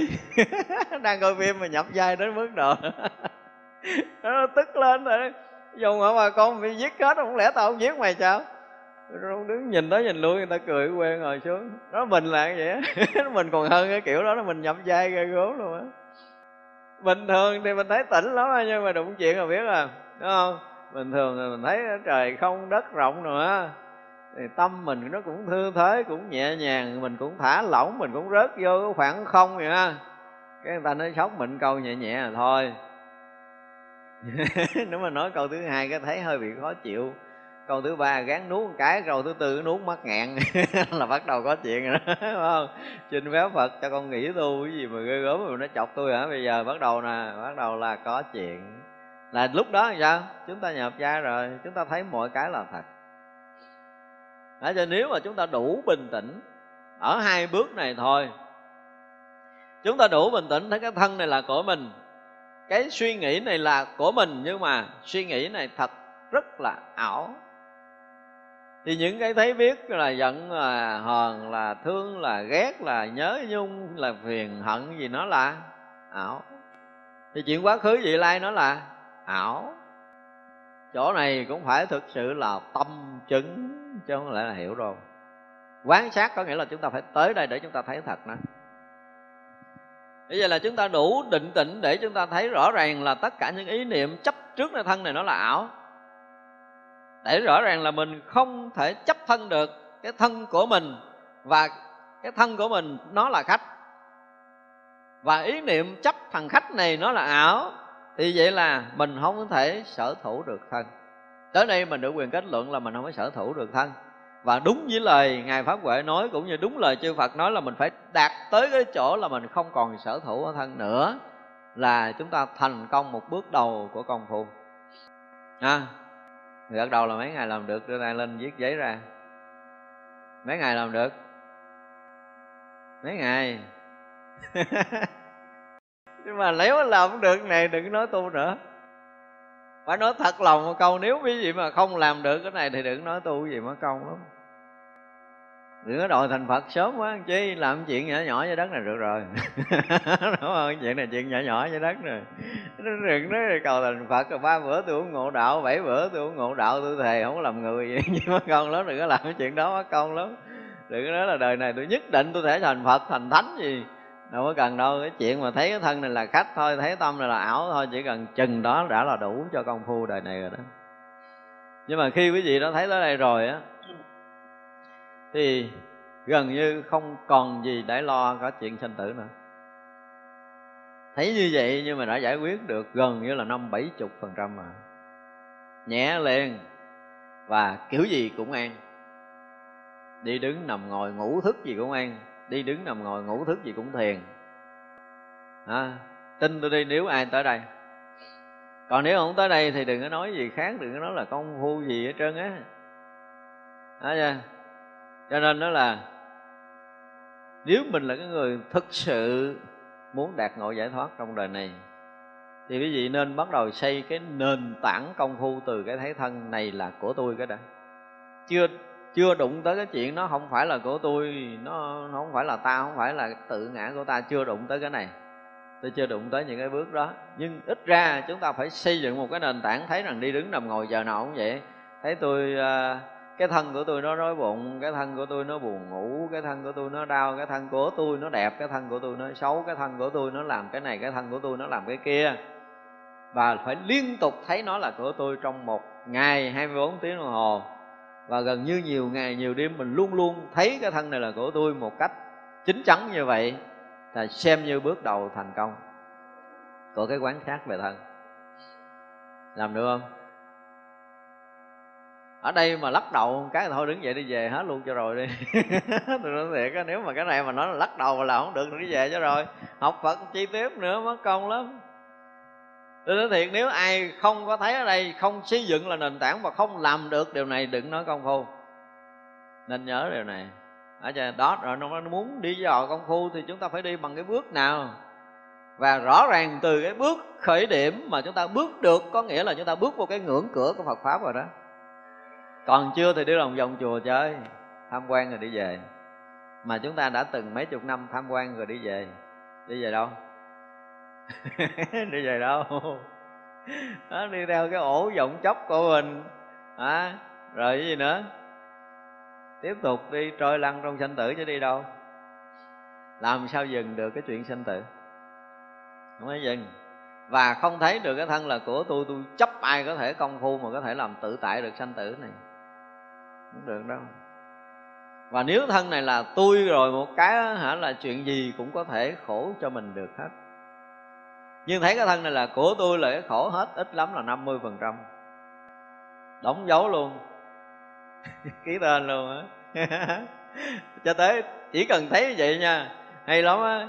Tới cái phút cuối quý vị sẽ thấy cái thân của tôi nó chết. Cho tới lúc tối quý vị sẽ thấy cái thân của tôi nó ngủ và chúng ta thấy được cái thân này nó ngủ như thế nào. Cái thân này nó yếu như thế nào. Thân này nó sẽ ra đi như thế nào, đó là chúng ta thấy rõ. Và do chúng ta thấy từ bây giờ cho nên không có sở thủ. Và do không sở thủ thân cho nên xả thân nhẹ như là tơ hồng. Không còn nặng nề nữa. Bất kỳ ai hiểu được điều này thì cái chuyện sống chết không còn nặng nề nữa. Tới phút cuối là đảm bảo rất là bình tĩnh. Thấy nhiêu đây đủ bình tĩnh phút cuối và đủ bình tĩnh phút cuối là mình sẽ ra đi ngon lành. Còn không thấy đây là lầm lẫn vạn kiếp về sau. Nói về thân mình không thấy rõ nó là thua rồi. Còn tâm cũng vậy. Nếu chúng ta muốn đi sâu vào thiền định thì chúng ta phải thấy rằng tất cả những cái động niệm xảy ra dù là như thế nào, nó cũng đều là ảo vọng. Nó là ảo vọng thực sự, nó không có thật không có ai có thể chứng minh được ý niệm là thật hết cả từ khoa học cho tới tôn giáo. Như vậy là nếu một người tu không có đủ trí tuệ để có thể khẳng định tất cả những cái động nơi tâm là ảo, đừng nói là ý niệm, ý thức, ý căn nữa là chưa có bàn tới những cái chiều sâu đó, nhưng mà chúng ta nhìn thấy nó động, có biết mày là ảo. Mỗi lần động thấy rõ ràng nó là ảo. Phải thấy thật sự cái ảo tướng đang xảy ra trong cái thấy của mình. Chúng ta đủ cái thấy này để mình ngồi một cách rất là yên tĩnh mình thấy ngảo tướng nó hiện ngảo tướng hiện ảo tướng mất ảo tướng hiện ảo tướng mất ảo tướng hiện ảo tướng mất có gì động tâm không? Không bao giờ. Bây giờ trước khi tôi ngủ à, bắt đầu tôi thả cái thân tôi để tôi nhìn nè. Cái thân của tôi đang nằm á. Rồi bây giờ cái thân của tôi nó buồn ngủ cái thân tôi nó sẽ ngủ mình sẽ nhìn thấy nó ngủ ở đâu ngủ từ cái chân nó lên tới hết cái chân cho tới cái bụng nó hết cái bụng tới cái cổ tới cái mặt tới cái đầu cái bắt đầu nó nó mờ ngắt một cái cái nó đi vào cái chỗ mờ luôn. Chúng ta thấy nó mờ nó ngắt cái rõ ràng như nó ngắt giống như cái kéo cắt vậy đó chứ giống như chúng ta cúp cầu dao vậy đó chứ không phải chuyện bình thường. Đang cái nhà sáng cái nó mờ lần lần lần giống như là cái gì giống như cái ờ, cái cái cái, cái uh, ví dụ mà bếp ga mà nó hết ga vậy đó. Ga nó hết ga hết ga hết ga hết ga cái cái cái cái cái, cái uh, lửa nó cháy nó yếu yếu, yếu, yếu dần cái nó khập một cái rồi hết cháy nữa ngủ và cái chỗ cục đó đó, chúng ta phải thấy. Nó rất là nhẹ. Mình tưởng tượng như là cái chết mình xảy ra nó mạnh như mình sập cửa một cái rầm mình nghe vậy nhưng mà cái ngủ nó giống như đóng cái chốt cửa thôi. Nó nhẹ như vậy. Nhưng mà cái đóng chốt này chúng ta cũng phải thấy là đóng cái kịch để tất cả những cái thức của mình nó chìm sâu vào vô thức. Và mình thấy nếu mình thực sự thấy cái thân này quan sát thân này kỹ cái quan sát cái tâm này kỹ chúng ta mới thấy rằng tất cả những cái thấy của cái cái cái, cái nhãn căn ha nhãn căn khi nhắm lại nó mờ rồi. Nhưng mà tới cái cái hàng cái hàng này nó đang rõ nè ha nó đang rất là rõ âm thanh cái nó cũng mờ dần mờ dần giống như kéo màn vậy nó kéo màn ở sân khấu nó mờ tắt đèn tắt đèn tắt đèn tắt đèn tắt đèn cái nó mờ đi thì cái nhận biết ở nhĩ căn nó không có còn rõ ràng, nó mờ đi tại nó chìm sâu trong tâm thức rồi. Và khi mà năm căn chúng ta nó chìm sâu á, lỗ mũi mình chỉ thở thôi, mùi mình gần như không có nhận biết như bình thường. Cái lưỡi mình không có còn nếm vị như bình thường, cái thân này mình không còn xúc chạm như bình thường. Thì như là ngũ căn được phủ mờ phủ mờ. Và lúc đó thì bắt đầu cái gì? Căn thứ sáu, hoạt động. Chế mình nè, phải mình đi chợ. Mà đi chợ gặp một cái món mình rất là thích, cái mình ăn. Ăn cái vị gì giật mình thức dậy còn nhép nhép, miệng dính thì quẹt quẹt. Hỏi không phải, hủ tiếu. Cái gì á? Dính gì á, chứ không hủ tiếu. Rồi cái tức nó sống vậy là nó sẽ hoạt động y như mình sinh hoạt đó nhưng mà năm cái thức trước nó mờ số nó còn so sánh việc tức là cái ngủ, cái mờ thì khi nói cho cái ngủ nhiều chuyện lắm. Trước cái phút ngủ cũng nhiều cái chuyện hay giống là cái phút mà thực sự ngủ nó nhiều chuyện hay mà cái những cái này như cùng phim chúng ta thấy. Nhưng mà nếu mà chúng ta thật sự thấy tất cả những động niệm là ảo rồi thì những cái chuyện này chúng ta thấy rõ lắm. Thấy ảo tướng hiện, ảo tướng mất. Một cách tường tận rõ ràng. Thì vậy là cái ảo tướng là năm thức kia nó đang hoạt động khi chúng ta thức. Thì bắt đầu nó hiện cái ảo tướng là cái thức thứ sáu. Nó hiện nguyên tướng của nó như thế nào là chúng ta thấy rõ nó. Và cái tướng nó, khi nó đã xuống, tất cả những cái thức, năm cái thức đầu nó xuống rồi, nó chìm sâu vào trong vô thức. Có nghĩa là nó không còn cái phân biệt của cái thức ờ, nhãn thức, nhĩ thức, tỷ thức, thiệt thức, thân thức nữa. Và ý thức nó hoạt động không hề tắt. Chúng ta nên nhớ điều này thế vậy là trong năm căn và năm thức này ngủ rồi ha. Thì thức thứ sáu nó sáng trưng ra. Sáng trưng ra nó vẫn thấy mình đi, nó vẫn thấy mình đứng như là bây giờ. Nó vẫn khẳng định là mình, là đi đây, đi kia, thấy này, thấy nọ, giao tiếp, nói năng, buồn thương, giận ghét như là mình thức thiệt. Cái thằng này nó chưa tắt mà. Thằng ấy thức nó chưa tắt. Năm thức kia tắt, vậy thương không tắt đúng không? Nói chuyện ngủ là chúng ta phải biết tới cái điều này nữa để mình thấy được cái chuyện mình ngủ là cái gì ngủ. Thế vậy là chúng ta mỗi ngày, chúng ta đều công phu một cách rất là dễ dàng trở thành thói quen là cho năm thức ngủ. Đúng không? Đêm nào mình cũng làm chuyện đó mà. Vậy mà ngồi thiền là không được, tức không? Có ai thắc mắc rồi này không? Tại sao mà đêm nào ta cũng làm cho mày ngủ, mà bây giờ mày không chịu ngủ không? Có ai ngồi thiền thắc mắc chuyện này không? Có không? Đưa tay lên coi. Có không? Đêm nào rõ ràng là mình cũng dỗ năm thức kia ngủ kho kho luôn á. Chỉ còn nghĩ thức thôi. Nhưng bây giờ bây giờ nếu như chúng ta ngồi thiền mà chúng ta dỗ ngủ được năm căn kia, đúng không? Chúng ta dỗ ngủ được năm cái thức kia, thì chỉ còn ý thức thì quý vị sẽ thấy rằng rằng mỗi một cái cái cái niệm quý thức nó sẽ hiện một cái cảnh giới y như là chúng ta ngủ. Quý vị tin không? Có nghĩa là gì? Có nghĩa là nó rất là sáng tỏ. Mỗi ý niệm nó thành hình. Mỗi ý niệm nhớ về cái nhà, ví dụ như mình còn thức, mình nhớ cái nhà, đúng không? Thì nó hiện cái nhà mờ ảo lắm. Nhưng bây giờ mình mà ngủ, nhớ nhà nó hiện nguyên cái nhà, đúng không? Thì cái lúc chúng ta thiền định mà năm cái thằng thức kia ngủ còn thức thứ sáu là một ý niệm là ý niệm liền hiện tướng ý niệm về hư không là hiện nguyên hư không, ý niệm về cái nhà là hiện nguyên cái nhà, ý niệm về cái gì là nguyện, nguyên cái đó. Cho nên chúng ta không có lầm hàng này nữa. Tại nó hiện tướng rõ quá. Như lần này mình ngủ tuốt lúa mình không có thiền. Cho nên cái hiện của tâm thức, cái mình thấy nó cũng mờ mờ cái này gọi là cái gì? Hôn trầm. Mà gần như 99% người ngồi thiền đều bị hôn trầm.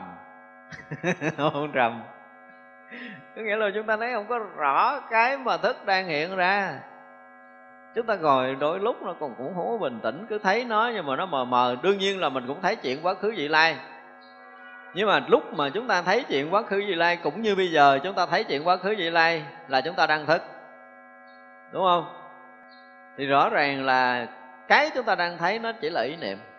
Nhưng khi chúng ta đang ngủ thì chuyện quá khứ, vị lai nó nó thành hình, thành tướng.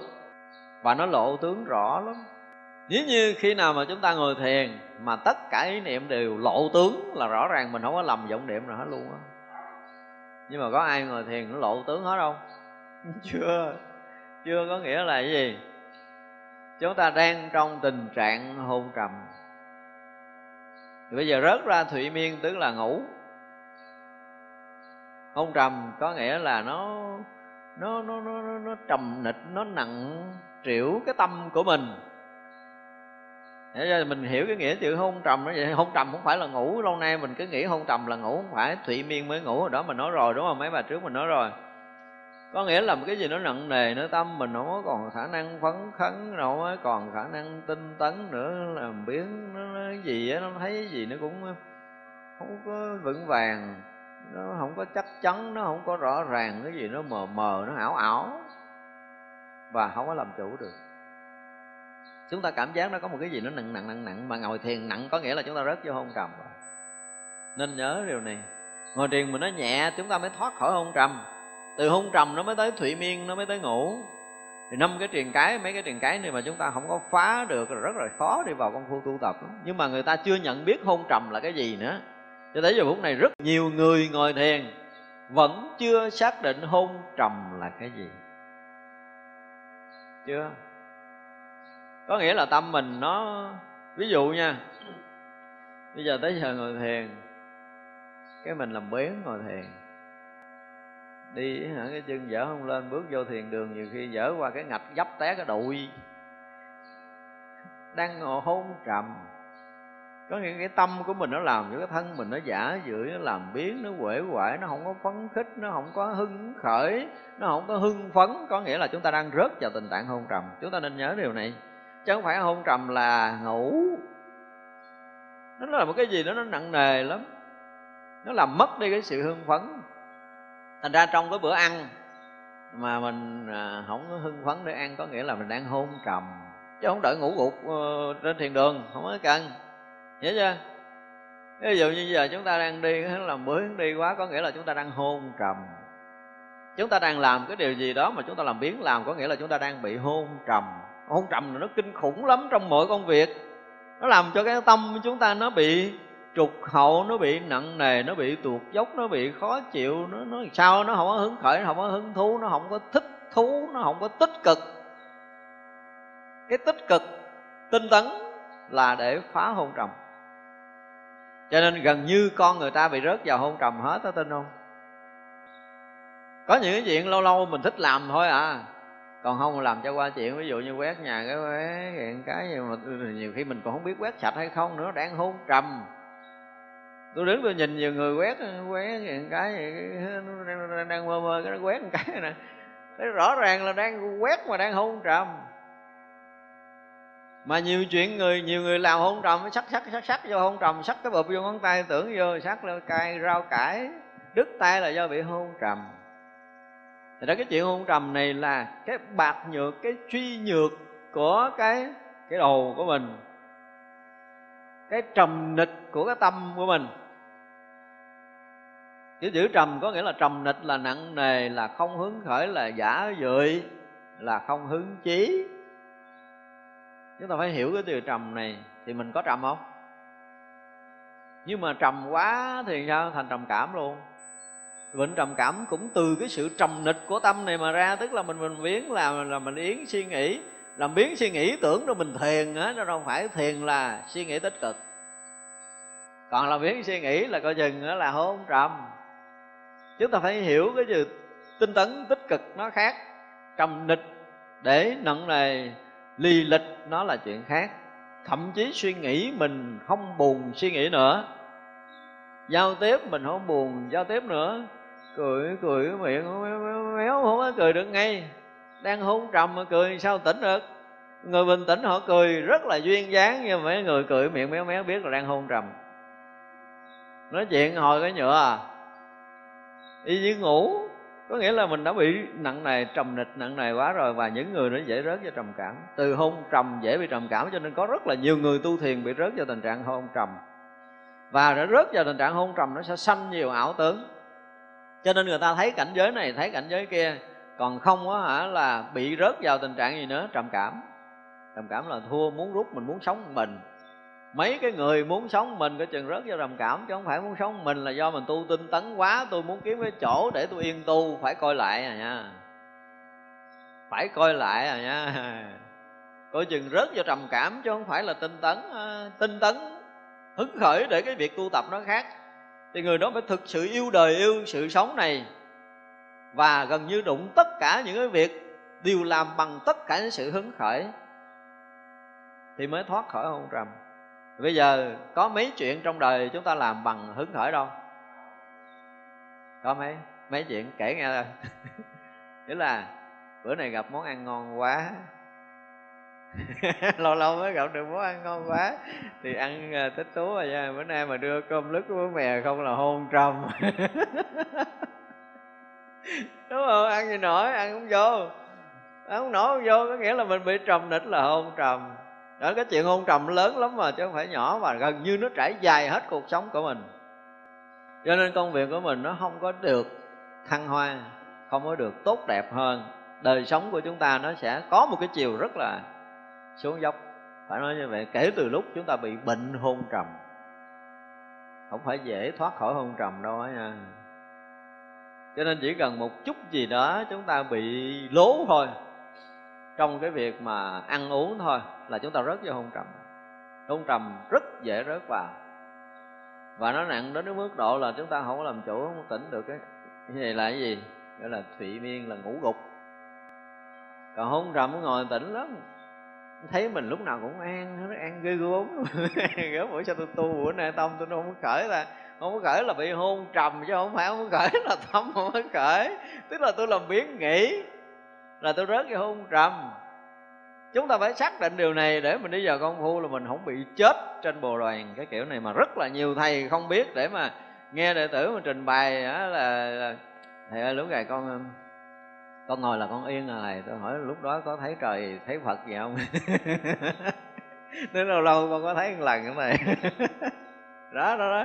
Rớt vào thì miên nó mới thấy những ảo tướng hôn trầm nó sẽ sanh ảo tướng nhưng mà thực sự khi tâm nó yên, nó sáng lạ lùng lắm, thì đó là chuyện khác. Tức là chúng ta rất là tinh tấn cho tới mức độ cái tâm yên thì nó sáng.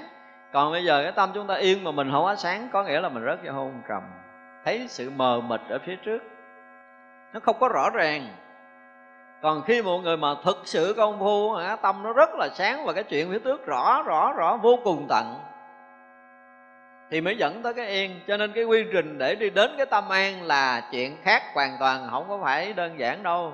Chúng ta phải rất là rõ về thân này, rất là rõ về tâm này, là mỗi một lúc cái tâm này nó rớt một ý niệm, nó tắt một ý niệm, nó mất một phần vọng tưởng là nó sẽ sáng rõ hơn. Và qua cái cảnh giới sáng tỏ của tâm rồi mới nói tới cái chuyện tâm an. Là mình không có rớt vô hôn trầm.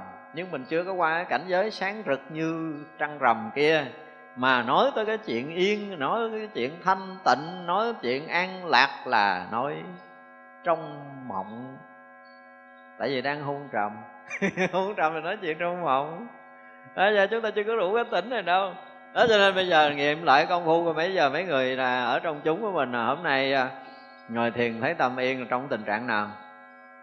Sáng vằn vặt như trăng rằm hay là thấy mờ mờ ảo ảo ở trong xương thế mà cái cảnh sương mù hiện ra đúng không? Những cái bóng bắt đầu mờ mờ không có rõ cái nó yên. Đúng không? Thấy trong sương mù. Coi lại coi có phải không? Thì vậy là hôn trầm cả chúng. Không phải hôn trầm người. Đó, những người mà hay trình bày công phu mà yên lặng thanh tịnh rồi lâu nay đó chúng ta nghiệm lại có phải không? Đây là chỗ mà chúng ta phải thấy khi chúng ta công phu bởi vậy mỗi người công phu có đơn giản không? Không có đơn giản đâu nếu nếu mà những cái bước này mà chúng ta không rành nữa hả, chúng ta không rõ hả, thì à, làm gì? Cứ ngồi để mà hôn trầm. Một ngàn người công phu kiếm ra được mấy người vượt thoát cái hôn trầm này.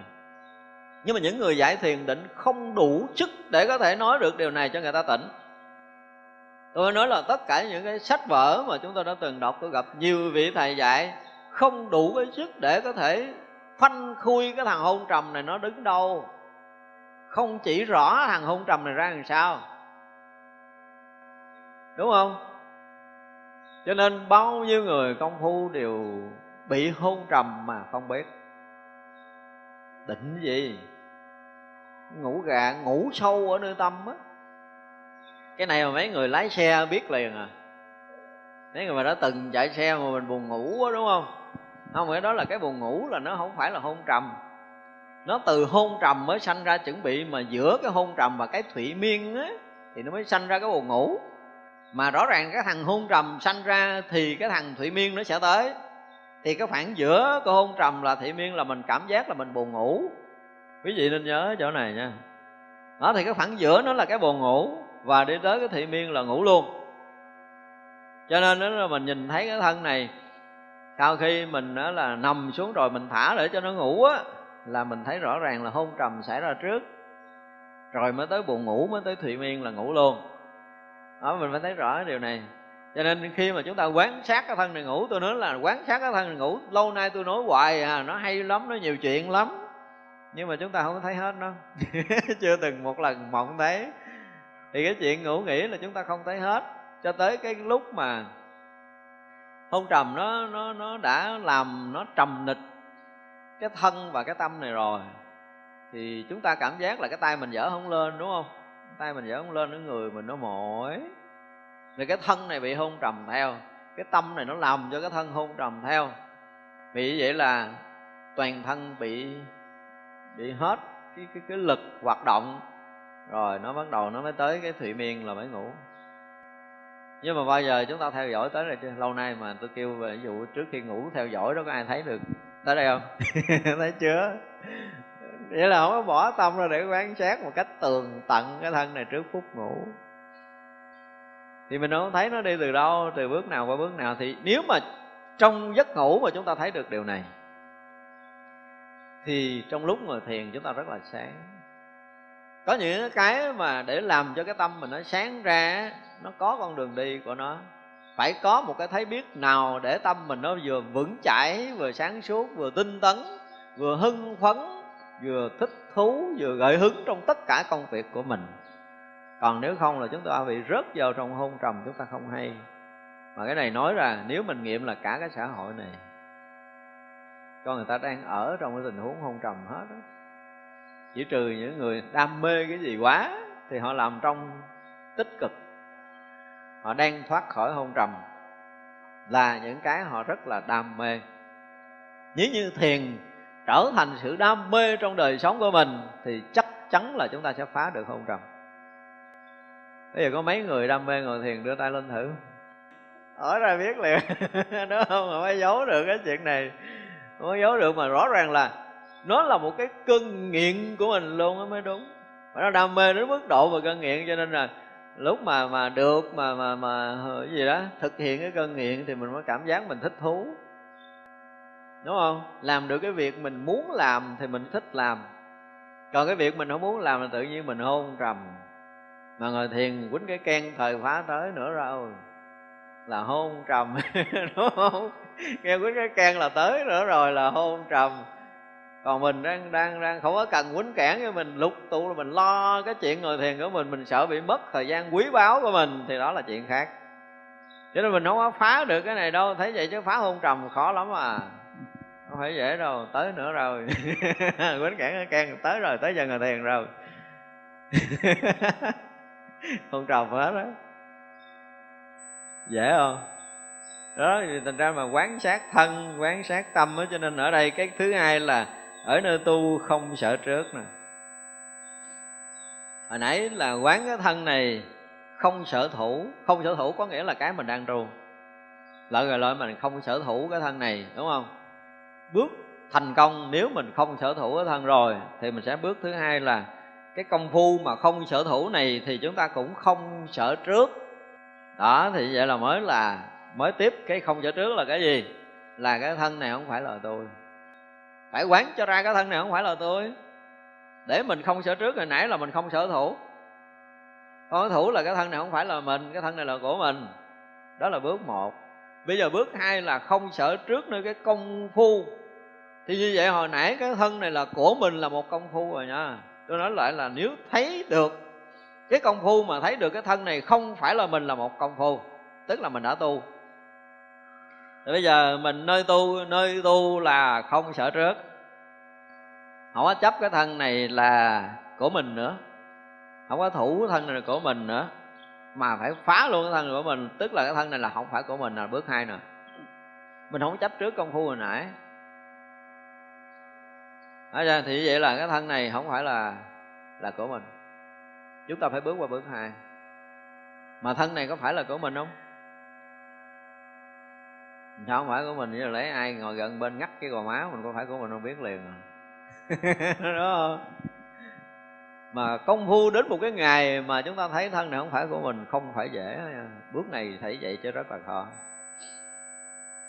Cái không sở à, thủ cái thân thì dễ. Nhưng mà nơi cái công phu để mình phá công phu, tôi đang nói bước một của cái phá cái thân này không phải là mình còn cái đạt được cái chỗ mà nơi tu không sở trước là một cái chuyện dài lắm à.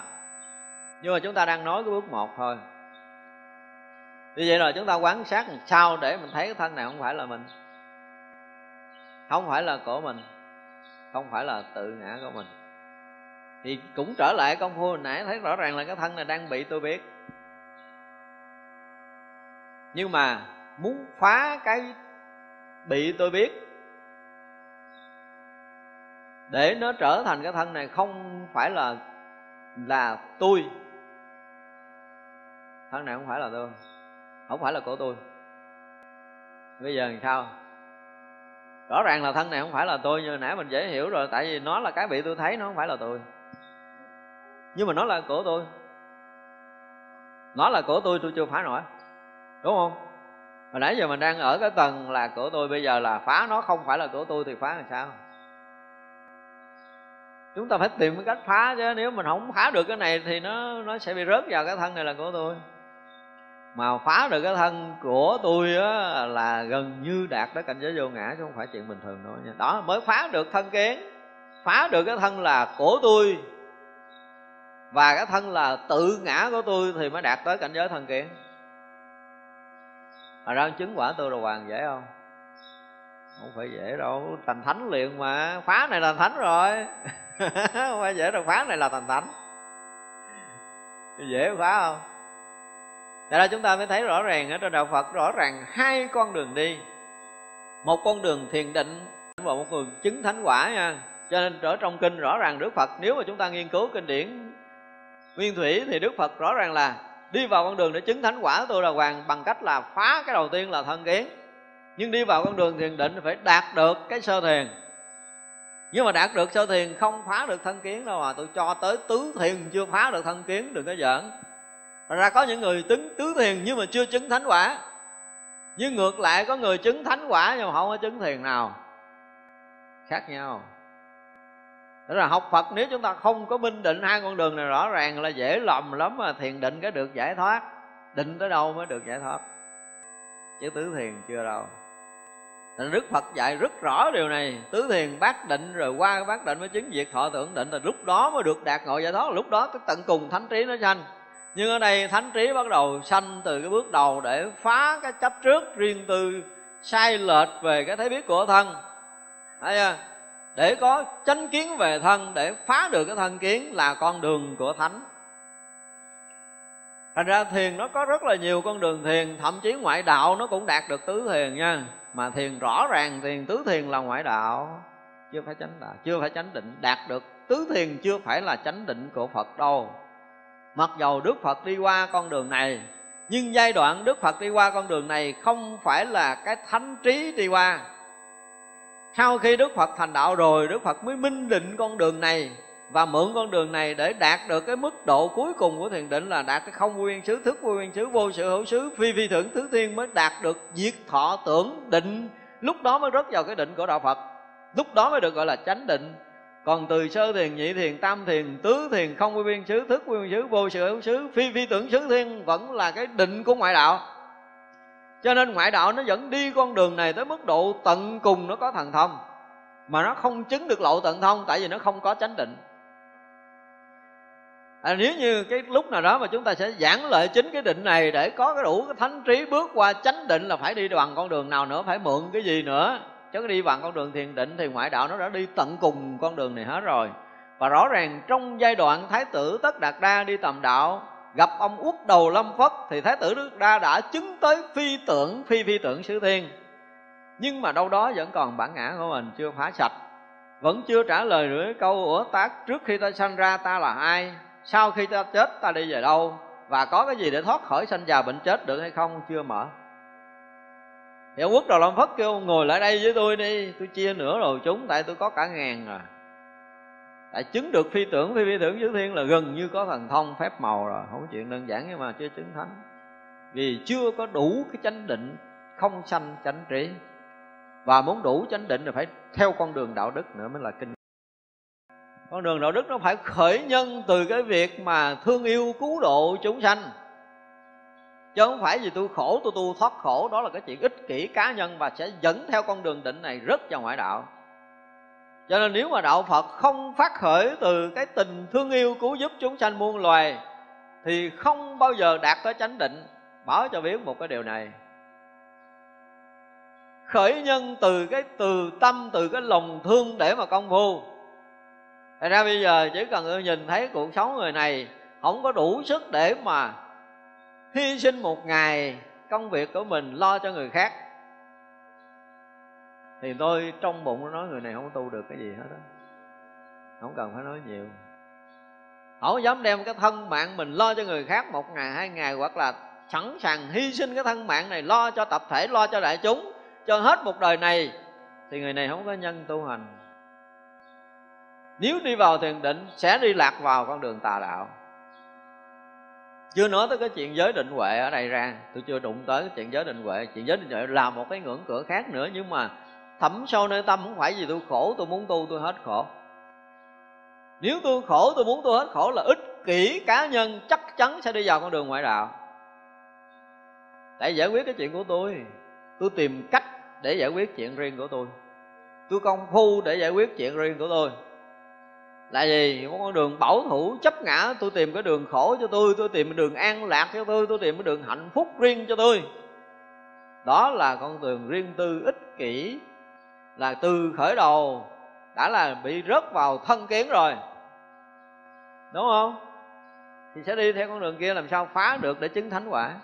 Cho nên ngay từ đầu phá được thân kiến là tự động, mình sẽ thấy cái thân là khách, nhưng mà thực sự chúng ta rất là yêu thương cái thân này, yêu quý cuộc sống này, nó là chuyện khác hoàn toàn. Rồi đến lúc mà chúng ta muốn nói chuyện tới con đường thánh quả và con đường thiền định, thì chúng ta sẽ thấy những cái điều tuyệt vời của cái hướng đi theo con đường thánh quả ngay từ khởi điểm ban đầu của con phù thì nó đạo phật những cái bước đầu này còn nhiều chuyện lắm mà tại vì chưa có ai chịu công phu cho nên mình chưa có nói được. Cho nói tôi nói là, đã nói là tứ niệm xứ còn nghìn trùng sự sai khác trong này. Mà tôi nói một hồi là lộ một cảnh cửa khác liền, nói hồi lộ cảnh cửa khác liền, đúng không? Không phải dễ mà đi vào con đường thiền định của tứ niệm xứ đâu. Ra muốn được mà phải nói là tuệ tri thì anh phải bước qua ngưỡng cửa nào? Được chánh niệm tỉnh giác nó ra làm sao? Thì đó là một ngàn chuyện sai khác trong cái lý luận trước mà mình đã từng giảng nếu rơi vào công phu tôi sẽ nói chuyện chánh niệm tỉnh giác là cái gì cho nghe.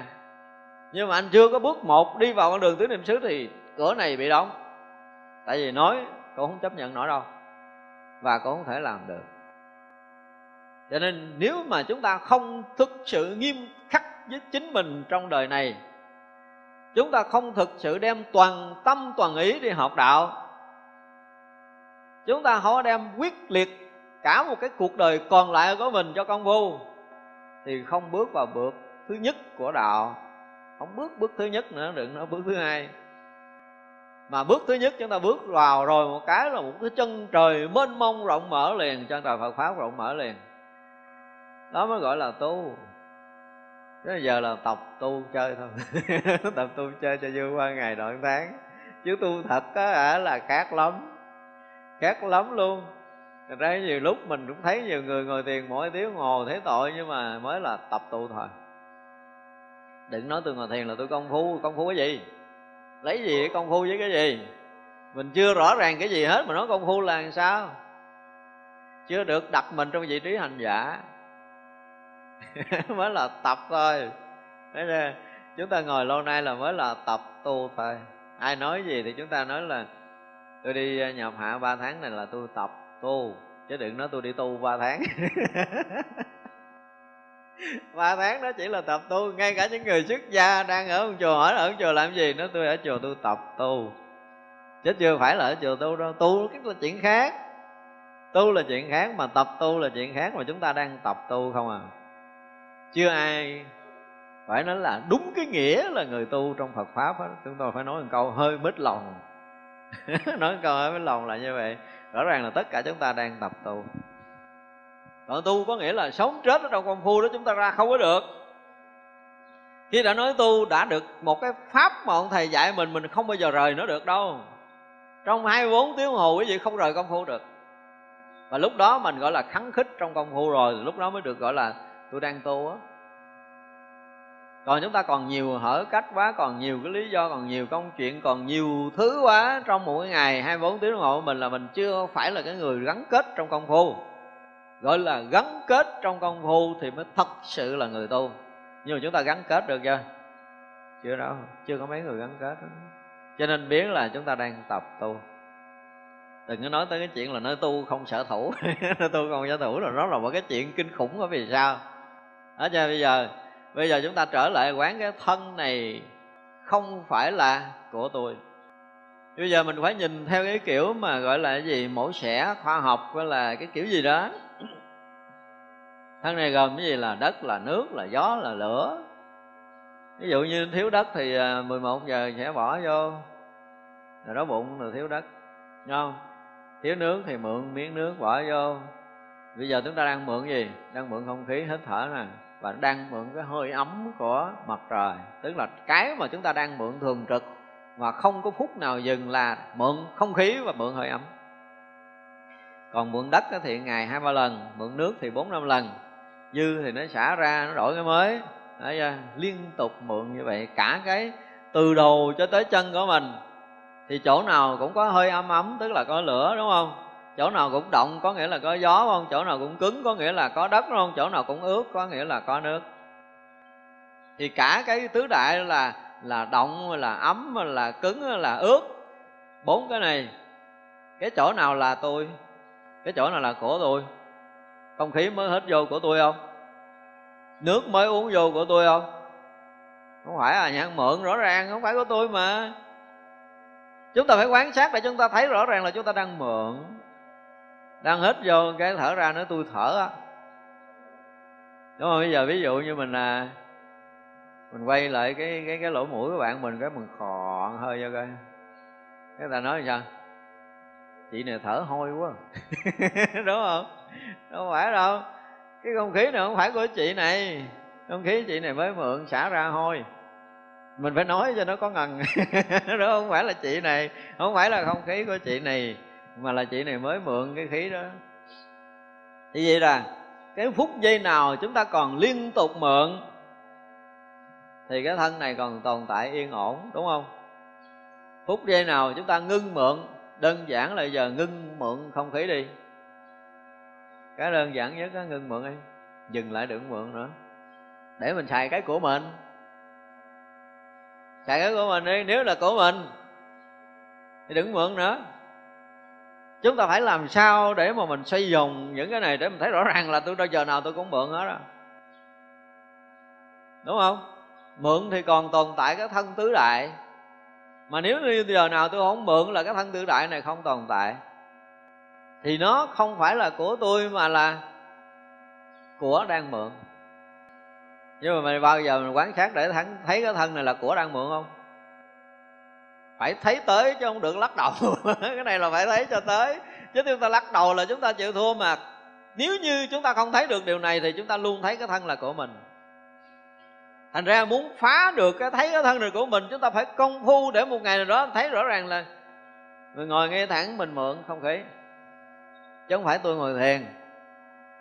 Đúng không? Bây giờ đóng hết tất cả mọi cái, tôi ngồi nghe thẳng để tôi mượn không khí chứ không phải là tôi thở nữa mà tôi, tôi mượn không khí để tôi xài.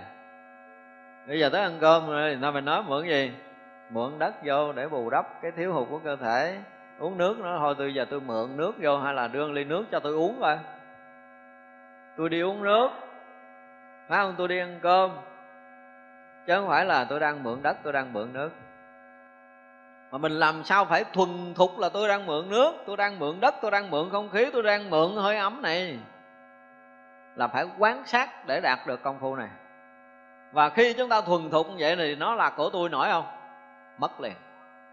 Nếu chúng ta không quán này là không bao giờ phá được, thì có phải là đối với cái thân này phải làm việc nhiều lắm à? Để đạt tới cái mức độ thân kiến là không phải dễ phá được thân kiến, không phải dễ đâu.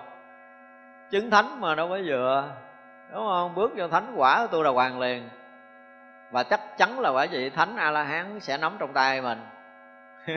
Nếu mình phá được cái này còn cái này mà phá không được là kể như là không có cái quả thánh nào hết. Mà không có quả thánh thì à, chịu làm phàm phu dài ngàn kiếp nữa. À, đối đạo phật dễ không? Nhiều người cứ tưởng là mấy ông thầy chùa có mỏ tụng kinh dễ ăn quá. Dễ ăn mà ăn không có dễ đâu. Phải chưa? Và nói với mấy thầy là ăn không rồi rồi tụi nó ngồi được rồi tôi cũng mừng á tại tôi ngồi không rồi nè, tôi mới gắng làm thầy chùa chứ tôi ngồi đâu rồi đó, tôi làm thầy chùa làm cái gì? Đúng không? Tôi ngồi đâu xong hết, tôi mắc gì tôi tu. Cho nó cực ở ông chùa vậy, mà tôi ngồi nó không có chịu xong chúc mừng tôi thì tôi cảm ơn, nhưng mà tôi ngồi không rồi nổi. Mốt ai có chửi mấy ông thầy chùa ăn không ngồi rồi thì mình phải chắp tay mình xá một cách kính cẩn và cảm ơn họ. Là chúc tôi như vậy tôi rất là cảm ơn, nhưng mà tôi ngồi chưa rồi nổi. nói thiệt là tôi ngồi chưa có rồi. Chứ nếu mà tôi ăn không mà tôi ngồi rồi một cái là tôi chơi như mấy vị rồi. Không có vô chùa ở làm gì. Đúng không?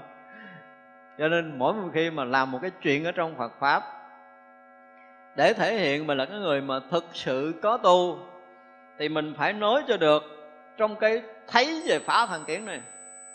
Cho nên ví dụ như bây giờ muốn nói một cái người đó chứng thánh quả a la hàm, hoặc là thôi tu đà hoàng, tu đà hoàng ban đầu thôi thì nói đi, nói cái kiến giải để phá thân kiến cho tôi đi.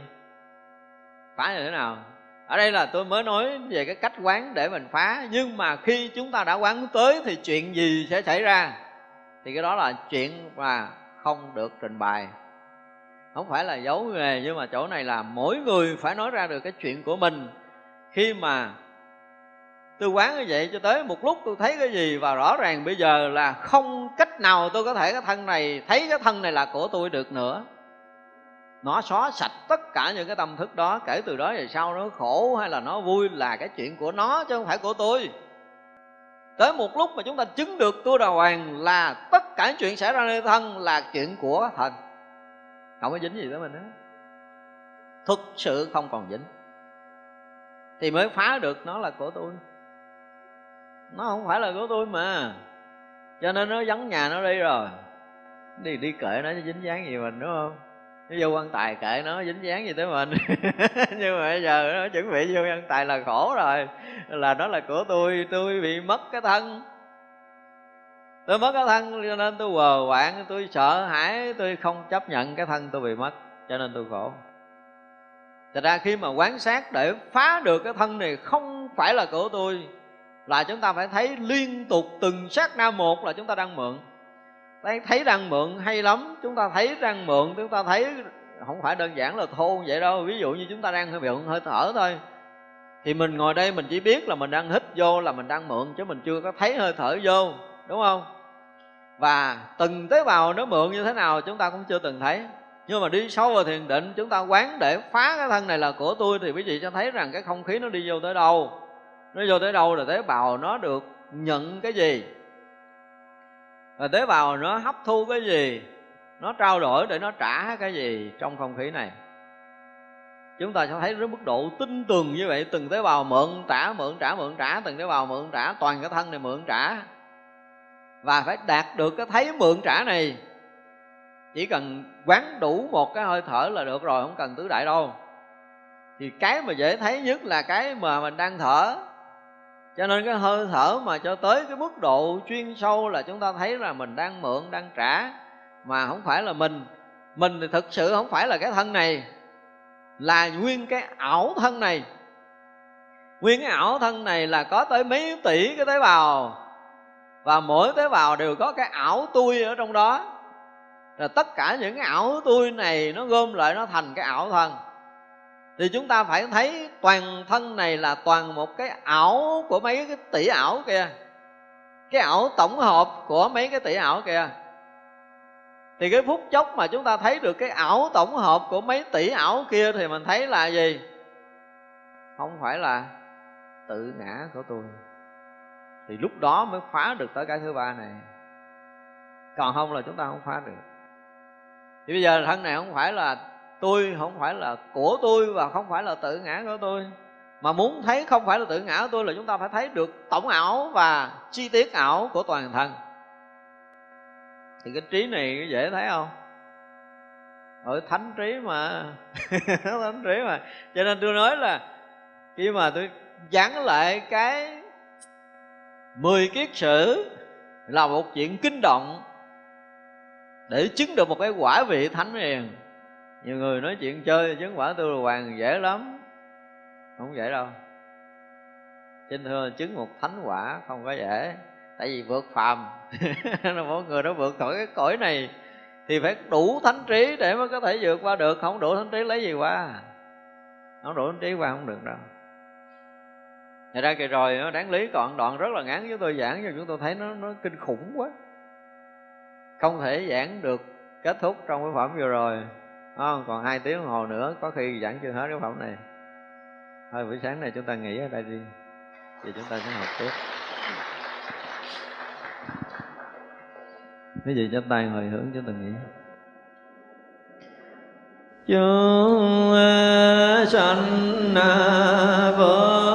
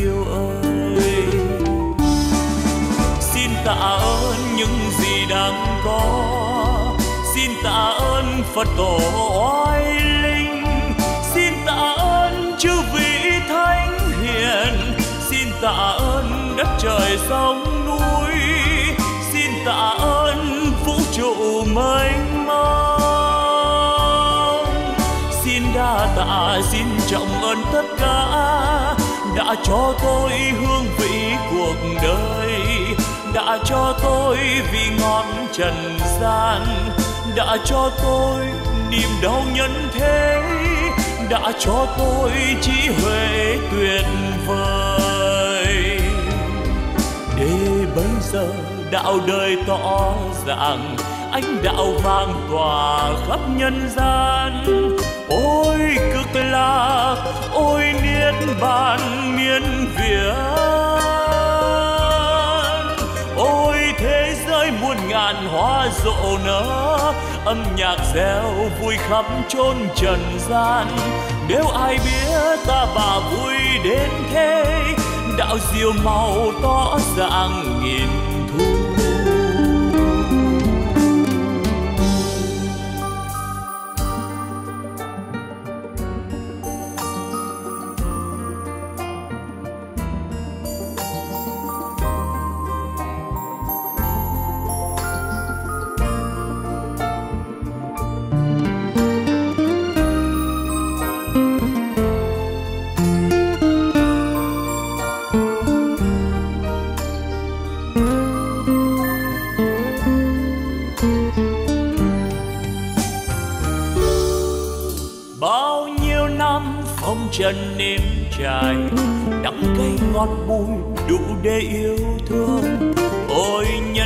sao lắm mau muốn về?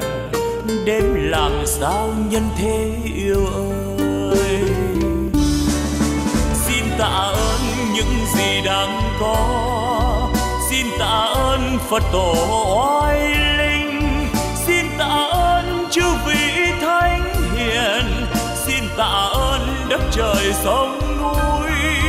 Xin tạ ơn vũ trụ mênh mông xin trọng ơn tất cả đã cho tôi hương vị cuộc đời, đã cho tôi vị ngọt trần gian, đã cho tôi niềm đau nhân thế, đã cho tôi trí huệ tuyệt vời. Để bây giờ đạo đời tỏ ràng ánh đạo vang tỏa khắp nhân gian ôi cực lạc, ôi nghĩa bàn miên việt thế giới muôn ngàn hoa rộ nở, âm nhạc reo vui khắp chốn trần gian. Nếu ai biết ta bà vui đến thế, đạo diệu màu tỏ ràng nghìn thu. Nếu ai biết ta bà vui đến thế